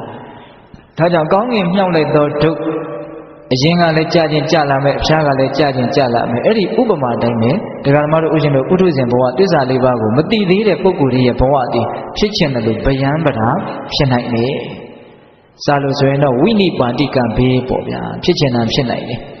လေဒီစတော်ဘုရားကြီးများကတော့ဥပမာပေးတယ်ကောင်းငင်မောအုံးပင်မောကထမ်းပင်မောကထမ်းသီးများဝုံမနိုင်တိုင်းနဲ့ကျွေးကြလာပြီဆိုလို့ရှိရင်ဒီထမ်းသီးဟာဘယ်နာလေးရောက်မှလိတ်နေတာလေးရက်သွားမယ်လို့မပြောနိုင်ဘူးဘယ်နာလေးကိုကြမယ်ဆိုတာလည်းမပြောနိုင်ဘူးကြခြင်းတို့ကြမယ်ရက်ချင်တဲ့နေရာရက်သွားမယ်ပုထုဇဉ်တို့ရဲ့လာယာဂတိဆိုတာလည်းအဲ့ဒီတိုင်းပဲအရိယာဖြစ်သွားပြီဆိုရင်တော့ သူကအဲ့ဒါလို့မဟုတ်ဘူးအတောင်မှန်နဲ့ပြည့်စုံတဲ့အားစွမ်းနဲ့ပြည့်စုံတဲ့ငှက်တကောင်ဟာသူဘယ်အကိုင်းကိုနားကျင်တယ်ကြိုက်တဲ့အကိုင်းကိုသူနားလို့ရတယ်ဟောအရိယာတွေဆိုတာကအဲ့လိုညံတီးဟူသောအတောင်မှန်ကရှိသွားပြီဟုတ်လားဒါကြောင့်သူတို့မှာတော့ကြိုက်တဲ့အကိုင်းကိုနားပိုင်ခွင့်ရှိတဲ့ငှက်များတစ်ဖွဲ့လို့လေဒီစတော်ကြီးကတော့အဲ့လိုဥမှန်ပေးတယ်ဒါလည်းပဲသစ္စာလေးပါးကိုသိခြင်းနဲ့မသိခြင်းရဲ့အကျိုးအပြစ်တွေလို့ပြောမယ်ဆိုရင်ပြောလို့မရဘူးလားရတယ် နောက်ပြီးတော့ဦးဇင်းတို့အိန္ဒခီလသုတ်တံဆိုတာလေးလည်းရှိသေးတယ်အဲ့ဒီအိန္ဒခီလသုတ်တံကဘာပြောတုံးဆိုတော့ယဟန်တော်တွေကိုမြတ်စွာဘုရားကဟောထားတယ်စိတ္တတို့တဲ့လောကကြီးမှာတစ္ဆာတရားကိုထွထွင်းပြီးတော့မသိသေးတဲ့ပုဂ္ဂိုလ်တွေဟာဖြစ်ရဘဝရရခန္ဓာမှာတခြားသောတမနာပြမနာတွေကိုဤအရှင်ကတော့သိတဲ့သိလိုက်တာတွေကိုသိလျောင်တကားဆိုပြီးတော့ တခြားသောတမနာပြမနာတို့ရဲ့မျက်နာကိုမော့မော့ကြည့်ရတယ်တဲ့ဒီဘဝကိုဉာဏ်ကြီးရှင်ဖြစ်ပြီးတော့ကိုကိုကိုအထင်ကြီးနေပဲမလို့နောက်ဘဝမှာဉာဏ်ပညာနှုတ်နေပြီးတော့လူမြင်တိုင်းအထင်ကြီးပြီးတော့မော့ကြည့်ရတဲ့အခြေအနေမျိုးမရောက်နိုင်ဘူးလားရောက်နိုင်တယ်အခုဘဝလည်းတရားဓမ္မတို့ဦးရှင်တို့အော်ဒီလူကတော့တော်တော်ကိုသိပုံရတယ်ဆိုပြီးတော့အထင်ကြီးပြီးတော့မော့ကြည့်ရတဲ့မျက်နာတွေအများကြီးမရှိဘူးလားရှိတယ်သ စ္စာလေးပါးကိုထုတ်ထွင်းမသိသေးတဲ့ပုဂ္ဂိုလ်တွေဟာတခြားသောတမနာပြမနာတို့ရဲ့မျက်နာကိုဒီအရှင်ဟာသိတဲ့သိလိုက်တာကိုသိလျောင်တကားဆိုပြီးတော့မော့မော့ကြည့်ရတယ်တဲ့ပြောထားပုံလေးကဥပမာဘာနဲ့တူလဲဆိုတော့မြင်းကြီးယာမှာချထားတဲ့ဝါခွမ်းဆိုင်လေးလိုပဲတဲ့တောင်လီလာရင်မြောက်ဘက်ကိုလွင့်သွားရောမြောက်လီလာရင်တောင်ဘက်ကိုလွင့်သွားရောသူ့ကိုယ်သူရက်တည်နိုင်တဲ့အနေအထားမှာမရှိဘူးဝါခွမ်းဆိုင်ဆိုတော့ပေါ့ပေါ့လေး လေပြင်းတောင်လာရမလို့ဘူးလေနှင်းကလေးလာတာနဲ့သူကလှုပ်နေပြီအဲ့လိုပဲဒကာဓမ္မတို့ဦးရှင်တို့ပုထုဇဉ်တွေရဲ့စိတ်ပိုင်းဆိုင်ရာသိမြင်နားလည်မှုတွေကမနဲ့နေသေးတော့ဟုတ်လားဟိုလူအထင်ကြီးဒီလူအထင်ကြီးဟိုမယ်ဘလို့ပုံကိုယ်လူပေါ်နေတာတဲ့ဘာဖြစ်တာတဲ့ညာဖြစ်တာတဲ့အစစ်အမှန်တွေရှိတယ်လို့အတုရောင်တွေကောမရှိဘူးလားရှိတယ်အစစ်အမှန်တွေကိုမဆိုးလို့ပါဘူးနော်ဦးရှင်တို့ဟုတ်လားအေး အဲ့ဒါလိုမျိုးမြတ်စွာဘုရားတစ္ဆာလေးပါးကိုမသိသေးရင်တော့ဝါကောင်းဆိုင်များလို့လေးလာရလွင့်ရမယ်ဘဝလို့ဟောတာတစ္ဆာလေးပါးကိုသိပြီဆိုလို့ကတော့ဘယ်တမနာပြမနာတို့ရဲ့မျက်နှာကိုမှမော့ကြည့်စရာမလိုဘူးသူမဘုရားတရားတန်ခါယတနာမြတ်သုံးပါးဟာအမျက်ဆုံးဆိုတာကိုသိပြီးသားနားလည်ပြီးသားတစ္ဆာလေးပါးကိုသိအောင်လုပ်ပေးတဲ့အတွက်ကြောင့်ဘုရားကိုကျေးဇူးတင်လွန်းလို့သူကဂုံပြုတ်ပြီးတော့သူ့စိတ်ထဲမှာမျက်နှိုးတာဟုတ်လား အဲ့ဒါလိုသစ္စာလေးပါးကိုထိုးထွင်းပြီးတော့တည်ပြီးသားပုံကိုယ်တွေကြတော့ဟိုဥရှင်တို့မြေကြီးထဲမှာ9000 8000လောက်နဲ့အောင်စိုက်ထားတဲ့တကားတိုင်းများတန်တိုင်းကြီးများပေါ့နော်အဲ့ဒါကိုကြောက်တိန်နဲ့ဖို့အပေါ်မှာလည်း9 8000 9000လောက်ပဲပေါ်နေတယ်အောက်ထဲမှာစိုက်ထားတာလည်းအပေါ်မှာပေါ်တော့ကိုစိုက်ထားတယ်အဲ့ဒီလိုတန်တိုင်းကြီးတွေဟာအရက်လေးမျက်နာကလာတဲ့လေမုန်တိုင်းကြောင့်တော်မှလည်းပဲသူတို့မှာတုံလို့เสียအကြောင်းမရှိဘူးဘလောက်ပြင်းထန်တဲ့လေတွေပဲတိုက်တိုက် တွတ်တူတူရက်တည်နိုင်သွားပြီခုတက္ကမတို့ဦးဇင်းတို့တစ္ဆာလေးပါးကိုမသိသေးတော့ကိုခြေတော့ပေါ်ကိုမရက်နိုင်သေးဘူးဆိုတဲ့ဗမာစကားပုံလိုဖြစ်နေလားဟုတ်ရလားအေးကိုစိတ်ထဲမှာကိုအထင်ကြီးမိအားကြီးကိုထင်တယ်လို့ပေါ့လေထင်တယ်လို့ကိုလုံနေကြတာထင်တယ်လို့ကိုပြောနေကြတာဟုတ်ရလားဒါကြောင့်မြတ်စွာဘုရားကတစ္ဆာလေးပါးကိုမသိသေးရင်တော့ဘဝဟာဘာအာမခံချက်မှမရှိဘူးဆိုတဲ့အတိတ်ပဲမျိုးပြောထားတာ ဟုတ်ရလားဒါကြောင့်ပိဿပေါင်းသူတော်ကောင်းတို့တစ္ဆာလေးပါးကိုထွတ်ထွင်းပြီးတော့သိအောင်ပฏิဝေဒဉာဏ်ကိုဥတည်ပြီးတော့ပါရမီကောင်းမှုတွေကိုဖြည့်ဆည်းဖို့လိုတယ်ဒီတစ္ဆာကမ္မထံကိုလည်းစီမံဖို့မလိုဘူးလားလိုတယ်ဒါကြောင့်တစ္ဆာလေးပါးကိုသိရင်သိသလောက်အင်မတန်အကျိုးရှိမယ်တစ္ဆာလေးပါးကိုမသိရင်မသိသလောက်တရားဓမ္မတို့ဦးဇင်းတို့အကျိုးမဲ့ကြလိမ့်မယ်ဟုတ်ရလားအဲ့တော့ဦးဇင်းတို့နောက်ဆုံးတစ္ဆာလေးပါးကိုသိဖို့အတွက်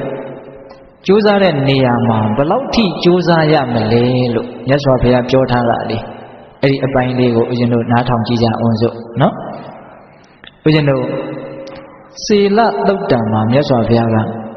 သစ္စာလေးပါးကိုသိဖို့အတွက်ဘလောက်ထိကြိုးစားသင့်တယ်လဲဆိုတဲ့ကိစ္စနဲ့ပတ်သက်ပြီးတော့ဒါမြတ်စွာဘုရားဟောထားတာကိုဘ ഹു တုတ္တရသိခြင်းလို့ဦးဇင်းတို့ပြောပြတာပါဦးဇင်းတို့လည်းပဲရင့်ကျက်နေတဲ့အနေအထားမျိုးကိုမရောက်သေးပါဘူးဟုတ်လား ဟိုစကားတွေကသိတ်ကြီးနေတော့အထင်ကြီးမှဆိုလို့နော်ဒါမြတ်စွာဘုရားဟောထားတာကိုရိုးရိုးလေးဦးဇင်းတို့ပြောပြတာဟုတ်ရဲ့လားလေးနဲ့တဲ့တရားတွေမှာဘ ഹു တုတ္တရှိနေခြင်းနဲ့စေတနာပါပဲနော်တခါကြီးဒီမိုက်ဗျာအဲ့ဒီစေလသုတ်တံမှာမြတ်စွာဘုရားကဘယ်လိုဟောထားလဲဆိုတော့ရှင်းသားတို့တဲ့ခေါင်းကိုမီးလောင်လို့ကိုဝတ်ထားတဲ့အဝတ်ပစိုးကိုမီးလောင်လို့အဲ့ဒါလိုဘေးကြီးဆိုင်လာပြီဆိုလို့ရှိရင်သင်္ချင်သားတို့ဘာလုပ်ကြမလဲတဲ့ ကိုကောင်ကဆံပင်ကိုမီးလောင်တယ်ကိုဝတ်ထားတဲ့အင်ကြီးကိုမီးလောင်တယ်ဆိုရင်ဘာလုပ်ကြမလဲလို့မေးတာအဲ့လိုမေးတော့ယဟန်တော်တွေက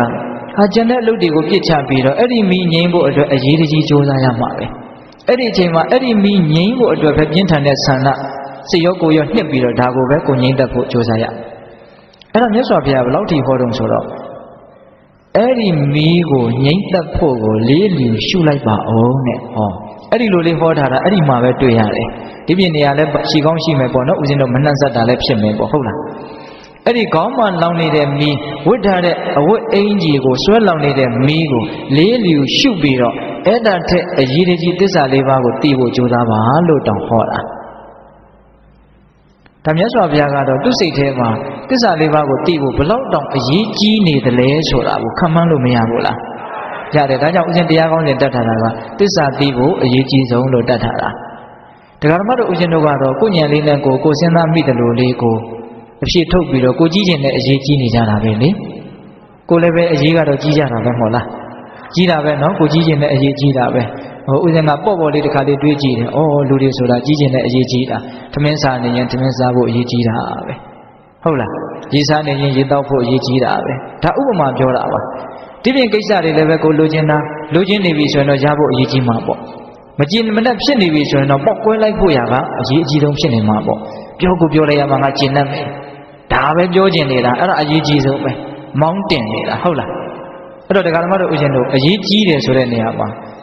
ဘယ်ဟာအရေးကြီးတယ်လို့တရတိသတ်မှတ်ချက်မရှိဘူးတဲ့တဲ့ပြောရရင်တော့လောဘဒေါသအားလျော်စွာ အဲ့ဒီအချိန်မှာဖြစ်တဲ့ကိလေသာရဲ့ခိုင်းစေမှုဟာဒကာမတို့ဦးဇင်းတို့ဘဝမှာအရေးကြီးနေတာပဲဟုတ်တယ်မဟုတ်လားအဲ့ဒါမြတ်စွာဘုရားကတော့ကိလေသာခတ်သိမ်းကုန်ရင်းပြီးတော့မှန်ကန်တဲ့အမြင်ကိုအခြေခံပြီးတော့ပြောထားတယ်ဘဝမှာအရေးအကြီးဆုံးကသစ္စာလေးပါးကိုသိဖို့ပဲလောင်းနေတဲ့မီးကိုလေးလျူရှုပြီးတော့သစ္စာလေးပါးကိုသိအောင်လုပ်ပါလို့ဟောထားတဲ့ဒေသနာတော်ကိုတိတိကျကျစဉ်းစားကြည့်ပါ။ဘာအရေးကြီးဆုံးလဲဆိုတာပေါ်မလာဘူးလား။ ပေါ်လာတယ်။သစ္စာလေးပါးကိုသိဖို့သာလျှင်အရေးအကြီးဆုံးအဲ့ဒါဦးဇင်းတို့စေလတုတ်တံမှာတွေ့ရတဲ့စကားတော်ပေါ့။နော်။နောက်ပြီးတော့ဦးဇင်းတို့တတိတတတုတ်တံဆိုတာရှိတယ်။တတိတတဆိုတာကလှံပေါင်းတရားလို့အဓိပ္ပာယ်ရတယ်။တတိတတတတိဆိုတာကလှံပေါ့တတဆိုတာကတရားလှံပေါင်းတရားအဲ့ဒီမှာယဟန်တော်တွေကိုမြတ်စွာဘုရားဘာဟောတယ်ဆိုတော့ချက်သားတို့တဲ့တစုံတယောက်သောပုဂ္ဂိုလ်က မင်းမနဲ့ခင်းမှာလှံပေါင်းတရားနဲ့အချက်ပေါင်းတရားလှံအချက်ပေါင်းတရားဖြစ်မင်းအနှိမ့်ဆက်ခံရမယ်နေ့လည်ခင်းမှာပဲလေလှံအချက်ပေါင်းတရားဖြစ်မင်းအထိုးဆွားခံရမယ်ညနေခင်းမှာလည်းပဲလှန်အချက်တရားဖြင့်မင်းအထိုးဆွားခံရမယ်အဲ့ဒါဘလောက်ကြာကြာအထိုးခံရမှာလဲဆိုရင်နှစ်ပေါင်းတရားတဲ့အသက်တရားအသက်ရှည်တဲ့လူပေါ့အဲ့ဒါတရက်တရက်ကိုလှန်ချက်300ပေါ့နော် တရက်တရက်ကိုလှန်ချက်300နှစ်ပေါင်း100မင်းအထိုးခံလို့အဲ့ဒီပုဂ္ဂိုလ်ကမင်းဒီလိုသာလှန်တဲ့တရက်ကိုအချက်300နှစ်ပေါင်း100အထိုးခံမယ်ဆိုလို့ရှိရင်မင်းသစ္စာလေးပါးသိရလိမ့်မယ်လို့တစုံတယောက်ကလာပြောမယ်ဆိုရင်အဲ့ဒါဝမ်းမြောက်ဝမ်းသာလှမ်းအထိုးခံလိုက်ပါတဲ့မြတ်စွာဘုရားကနော်တရက်ကိုအချက်300နှစ်ပေါင်း100အထိုးခံလိုက်ပါတန်နေတဲ့ ဒါဥစဉ်ကအရက်စကားလေးနဲ့နားလည်အောင်ပြောတာနော်တန်နေတဲ့သစ္စာလေးပါးကိုသိမယ်လားဆိုလို့ရှိရင်တရက်ကိုလှမ်းအချက်300နှစ်ပေါင်း100အထိုးခံလိုက်ပါဘာဖြစ်လို့လဲဆိုတော့တကယ်လို့သာသစ္စာလေးပါးကိုမသိဘူးဆိုလို့ရှိရင်နောင်လာမယ့်အနာဂတ်သို့မဟုတ်အတိတ်ကာလတုန်းကဖြစ်ခဲ့တဲ့အရာတွေကိုမှန်းဆကြည့်ပြီးတော့နောင်လာမယ့်အနာဂတ်မှာဒုက္ခတွေဘလောက်ကြံသေးတယ်ဆိုတာကိုပိုင်းခြားလို့မရလို့ပဲတဲ့။ ကောင်းအခါခါပြက်ပြီးတော့တေးရတာတွေလှန်ထိုးခံရလို့ဓာခုတ်ခံရလို့ပေါ့စိန်နဲ့ခုတ်ခံရလို့တေးရတဲ့ဘဝတွေအဲ့ဒါတွေကဒီနှစ်တရာတရက်ကိုလှန်ကျက်300တဲ့အများကြီးချိုးလိုက်မယ်။ဒါကြောင့်ဒီလိုလှုပ်လို့သစ္စာလေးပါးကိုသိမယ်ဆိုလို့ရှိရင်ဝမ်းမြောက်ဝမ်းသာလက်ခံလိုက်ပါတဲ့အဲ့ဒါကိုစင်စင်ရရဖြစ်တယ်လို့မပြောသင့်ဘူးတဲ့အဲ့ဒါချမ်းသာတယ်လို့တောင်ပြောသင့်တယ်တဲ့အဲ့လိုတောင်ပြောထားတာဟုတ်လားအဲ့တော့ဒီဒေသနာကဒကာဓမ္မတို့ဦးရှင်တို့မြတ်စွာဘုရားဟောထားတဲ့ ဒေသနာတော်တွေရဲ့ပုံမြတ်စွာဘုရားရဲ့တပ်ပညုတဉာဏ်တွေကိုယုံကြည်တဲ့တပ်ပညုတဉာဏ်ကိုယုံကြည်တဲ့တရတရားကိုအခြေခံမှစိတ်ထဲမှာလေးလေးနက်နက်ခံစားလို့ရမှာနော်ဟိုဦးဇင်းတို့အနမတကတန်ယုတ်ဆိုတာရှိတယ်အဲ့ဒါကတော့သစ္စာတန်ယုတ်ထဲမှာမဟုတ်နိဒာနဝကတန်ယုတ်ပါဠိတော်မှာလာတယ်အနမတကတန်ယုတ်တဲ့အနမတကဆိုတာကရှည်လျားလှစွာသောတန်လျာကာလနဲ့ပတ်သက်ပြီးတော့ဟောထားတဲ့တုတ်တန်လေးပေါ့ကိုယ့်ရဲ့တန်လျာရဲ့အစကိုမသိနိုင်မမြင်နိုင်တော့အောင်ကိုရှည်လျားလှပြီ အဲ့ဒီအချက်တွေနဲ့ဟောထားတဲ့တုတ်တန်ရှိတယ်အဲ့ဒီအနမတကတန်ယုတ်မှာလာတဲ့စကားတွေနဲ့ဒီဒေသနာတော်ကိုနှိုင်းရှင်ပြီးတော့ဆက်ဆက်ပြီးတော့နားလည်မယ်ဆိုရင်ပို့ပြီးတော့အရသာရှိမယ်။ဦးဇင်းတို့အနမတကတန်ယုတ်မှာအဖေသေးလို့အမေသေးလို့ဖြစ်ရဘဝရရခန္ဓာမှာကိုချစ်တဲ့မြင်လို့တဲ့ပုံကိုယ်တွေနဲ့ကိုယ်ကွင်းရလို့ငိုကြွေးလို့ကြလာတဲ့မျက်ရည်တွေဟာစုထားလို့မြန်ရမယ်ဆိုရင်သမုဒ္ဒရာ၄စင်းတွေကရည်တဲ့များတယ်ဆိုပြီးတော့အတုတုတ်တံမှာဟောထားတာရှိတယ်။ နောက်ပြီးတော့ဦးဇင်းတို့ခိရတုတ်တံမှာဟိုအမျိုးမျိုးသောအမေတွေရဲ့နှုတ်ကိုစု့ကြရတာအဲ့ဒီနှုတ်ရည်တွေဟာသမုဒ္ဒရာရည်တဲ့များတယ်။တိရစ္ဆာန်ဖြစ်တော့လဲတိရစ္ဆာန်အမေရဲ့နှုတ်ကိုစု့မှာပေါ့ဗျာ။လူဖြစ်တော့လဲလူရဲ့အမေရဲ့နှုတ်ကိုစု့မှာပေါ့။အဲ့ဒီနှုတ်ရည်တွေဟာသမုဒ္ဒရာ၄စင်းမှာရှိတဲ့ရည်တွေတဲ့များတယ်တဲ့ပုဂ္ဂလသုတ်တံမှာတော့ဒီကက္ကဘာမှာဖြစ်တဲ့ဘဝမှာတောင်ဒါအယိုးရှိတဲ့ဘဝအယိုးမရှိတဲ့ဘဝမပါသေးဘူးနော် အဲ့ဒီအယိုးတွေကိုစုထားလို့ရမယ်ဆိုရင်ဝေပုံလတောင်ထက်တောင်မြင့်မယ်လို့မြတ်စွာဘုရားဟောထားတာလည်းရှိတယ်အထူးသဖြင့်ဦးဇင်းတို့ထိတ်လန့်စရာကောင်းတဲ့သုတ်တံတစ်ခုကတော့တိန်သမတ္တသုတ်တံဆိုတာရှိတယ်ပါဝေယကယဟန်သုံးချိတ်ကိုမြတ်စွာဘုရားဟောထားတာ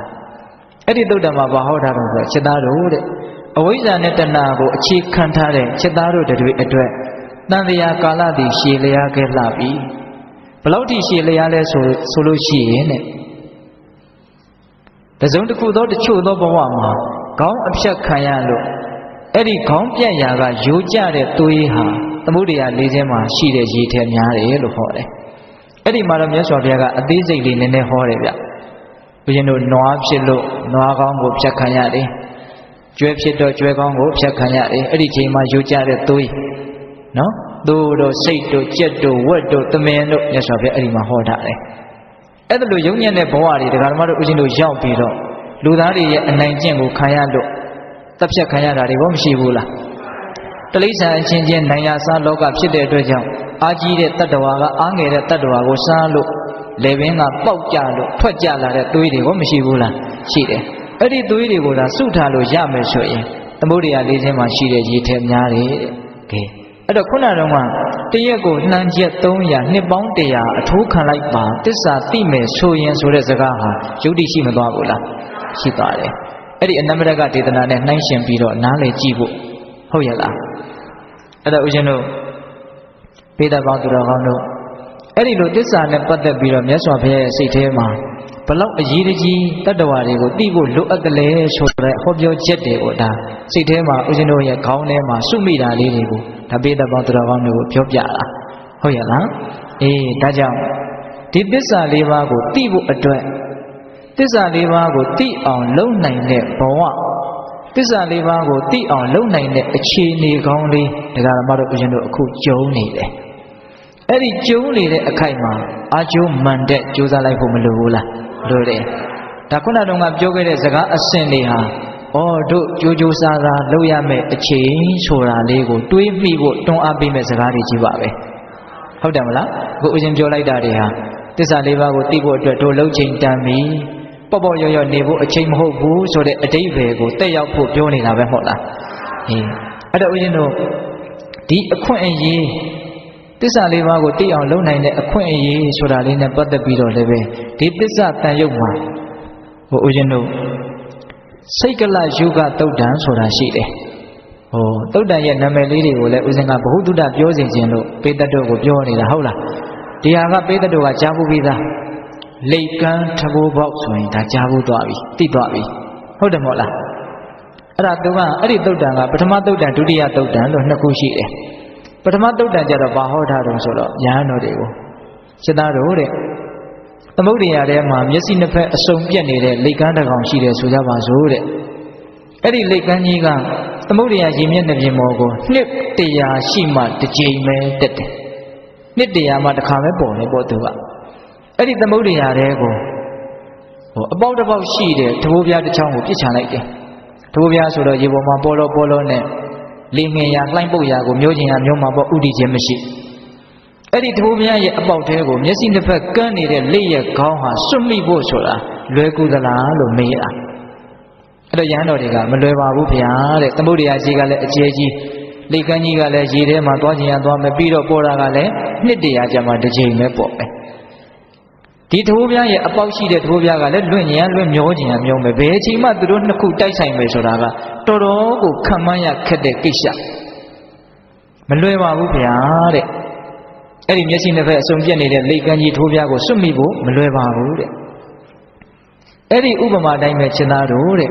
အကယ်၍အပေလေးပါးဆိုတာကိုရောက်သွားပြီဆိုလို့ရှိရင်တဲ့အဲ့ဒီအပေလေးပါးကပြန်ပြီးတော့လွတ်မြောက်ဖို့ဆိုတာအင်မတန်ခဲရင်နေတဲ့အဲ့ဒါကိုပြောခြင်းလို့အဲ့ဒီဥပမာကိုပေးတာဘာဖြစ်လို့အပေဘုံရောက်သွားရင်လွတ်မြောက်ဖို့ခဲရင်တယ်လို့ပြောရတယ်လဲဆိုလို့ရှိရင်အပေဘုံဒီနိုင်ရာစားဖြစ်တယ်တဲ့ ကုသိုလ်ဖြစ်ခွင့်သိပြီးတော့မရှိဘူးအကုသိုလ်တွေနဲ့ပဲအချိန်ကုန်တဲ့ဘုံဘဝဘုံဌာနမျိုးဖြစ်တယ်ဒါကြောင့်အင်မတန်ညှဉ်းနှွမ်းတဲ့အင်မတန်ရုပ်ညံ့တဲ့တ attva တွေဖြစ်တဲ့အတွက်ကြောင့်သူတို့ပြန်ပြီးတော့လွတ်မြောက်ဖို့ဆိုတာတော်တော်ကြီးကိုခဲရင်နေဆိုတဲ့အတိတ်ပဲအဲ့ဒါပထမသုတ်တံမှာအဲ့လိုဟောတာဒုတိယသုတ်တံကြတော့အဲ့လိုမဟုတ်အဲ့ဒီလိတ်ကန်းနဲ့ထိုးပြားပေါက်ကတော့တူတယ်နော်လိတ်ကန်းကလည်းသွားခြင်းရသွားမယ်ထိုးပြားပေါက်ကလည်းမြုပ်ခြင်းရမြုပ်မယ်နှစ်ပေါင်းတရာကြာမှလိတ်ကရင်မြတ်တဲ့ပြင်ပေါ်ကိုတက်မယ် သူတို့တွေ့ပြီးတော့စွတ်မိဖို့ဆိုတာအကြောင်းညီညွတ်မှတကယ်ကိုအကြောင်းညီညွတ်မှဖြစ်နိုင်တဲ့ကိစ္စအဲ့မှာမြတ်စွာဘုရားဘာဆက်ပြောလို့ဆိုချက်သားတို့တဲ့လောကကြီးမှာ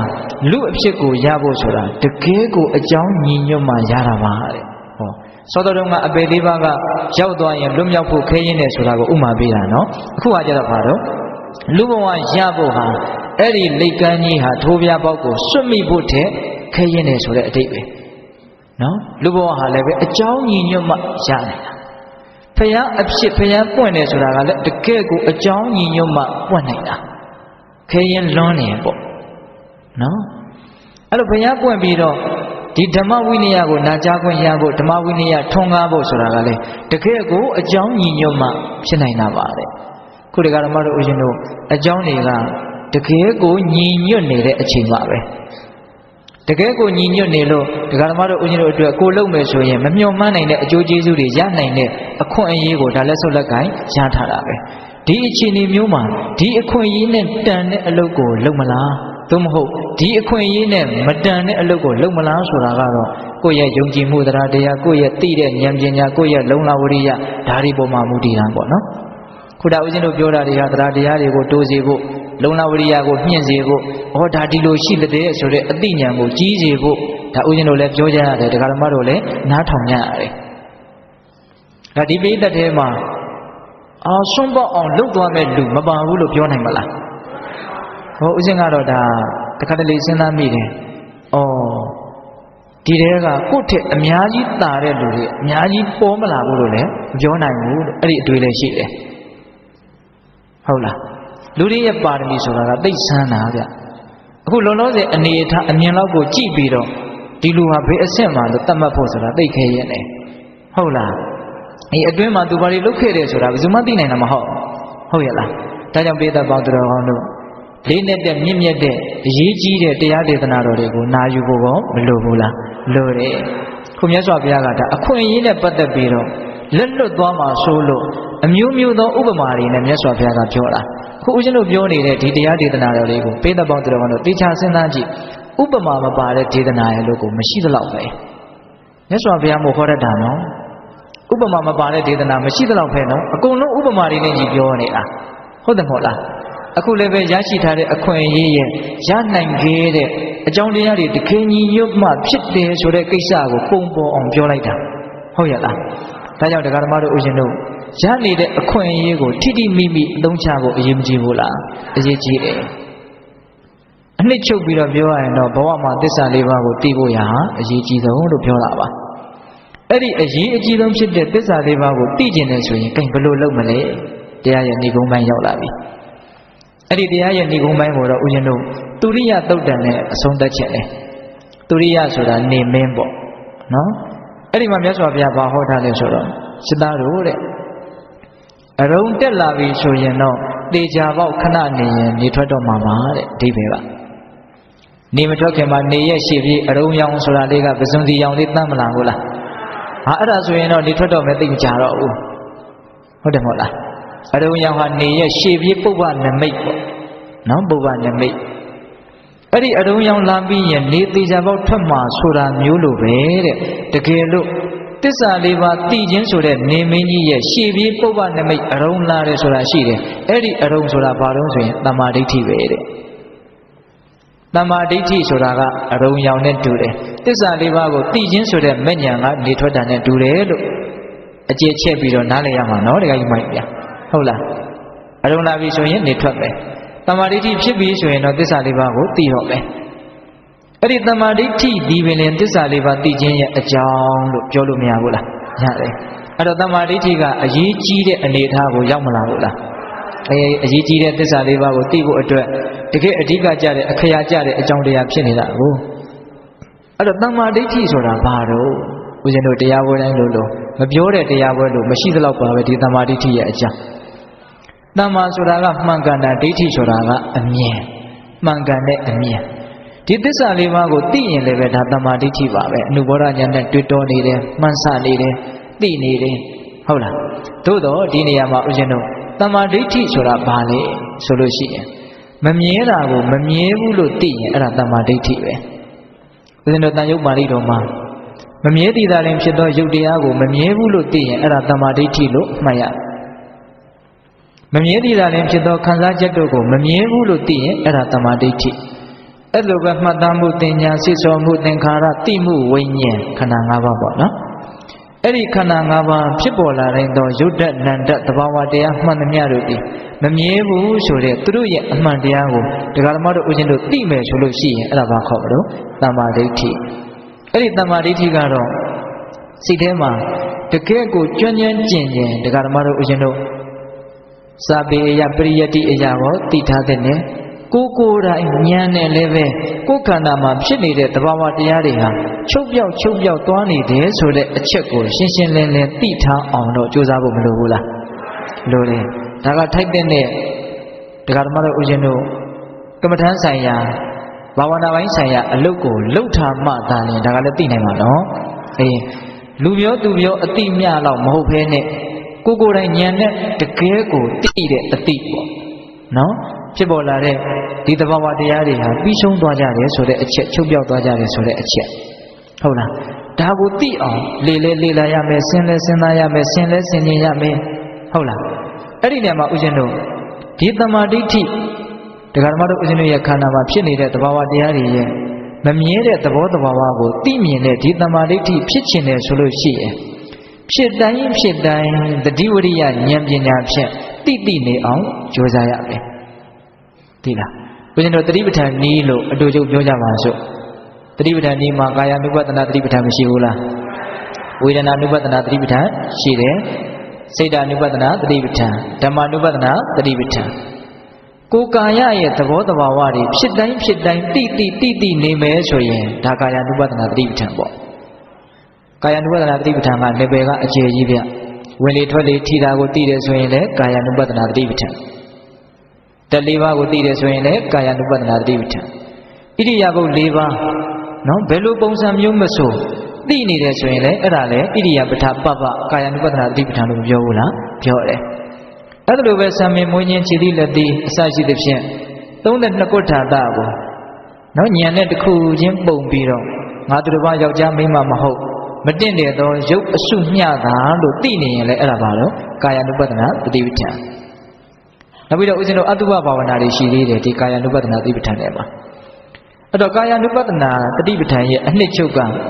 ကိုယ့်ရဲ့ရုပ်ကာယကိုရုပ်ကာယမျှတယ်လို့အမှန်အတိုင်းသိတာပေါ့နော်ငါတွေသူတွေအတ္တတွေဝိညာဉ်တွေလိပ်ပြာတွေဝိညာဉ်ဆိုတာကဝိညာဉ်နဲ့ခန္ဓာကိုရည်ရွယ်ပြောတာမဟုတ်ဘူးနော်လူတွေထင်တဲ့အသက်ပေါ့ဗျာဟုတ်လားလူတွေထင်တဲ့အတ္တသဘောမျိုးလေးဟိုဦးဇင်းတို့ပုံမြင်လေးတစ်ပုဒ်ဖတ်ဖို့တယ်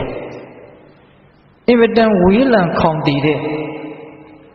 လူအယောက်တော့အလွန်နေတဲ့လူရိုင်းတစ်ဖွဲ့ဖြစ်နေတဲ့နေရာမျိုးကိုလူတယောက်ကကားနဲ့မရရအောင်သွားလိုက်တယ်အဲ့ဒီဒေတာတစ်ခုလုံးကလူတွေကဒီကားကိုလုံးဝမမြင်ဘူးဒီလားအဲ့လိုမမြင်ဘူးတော့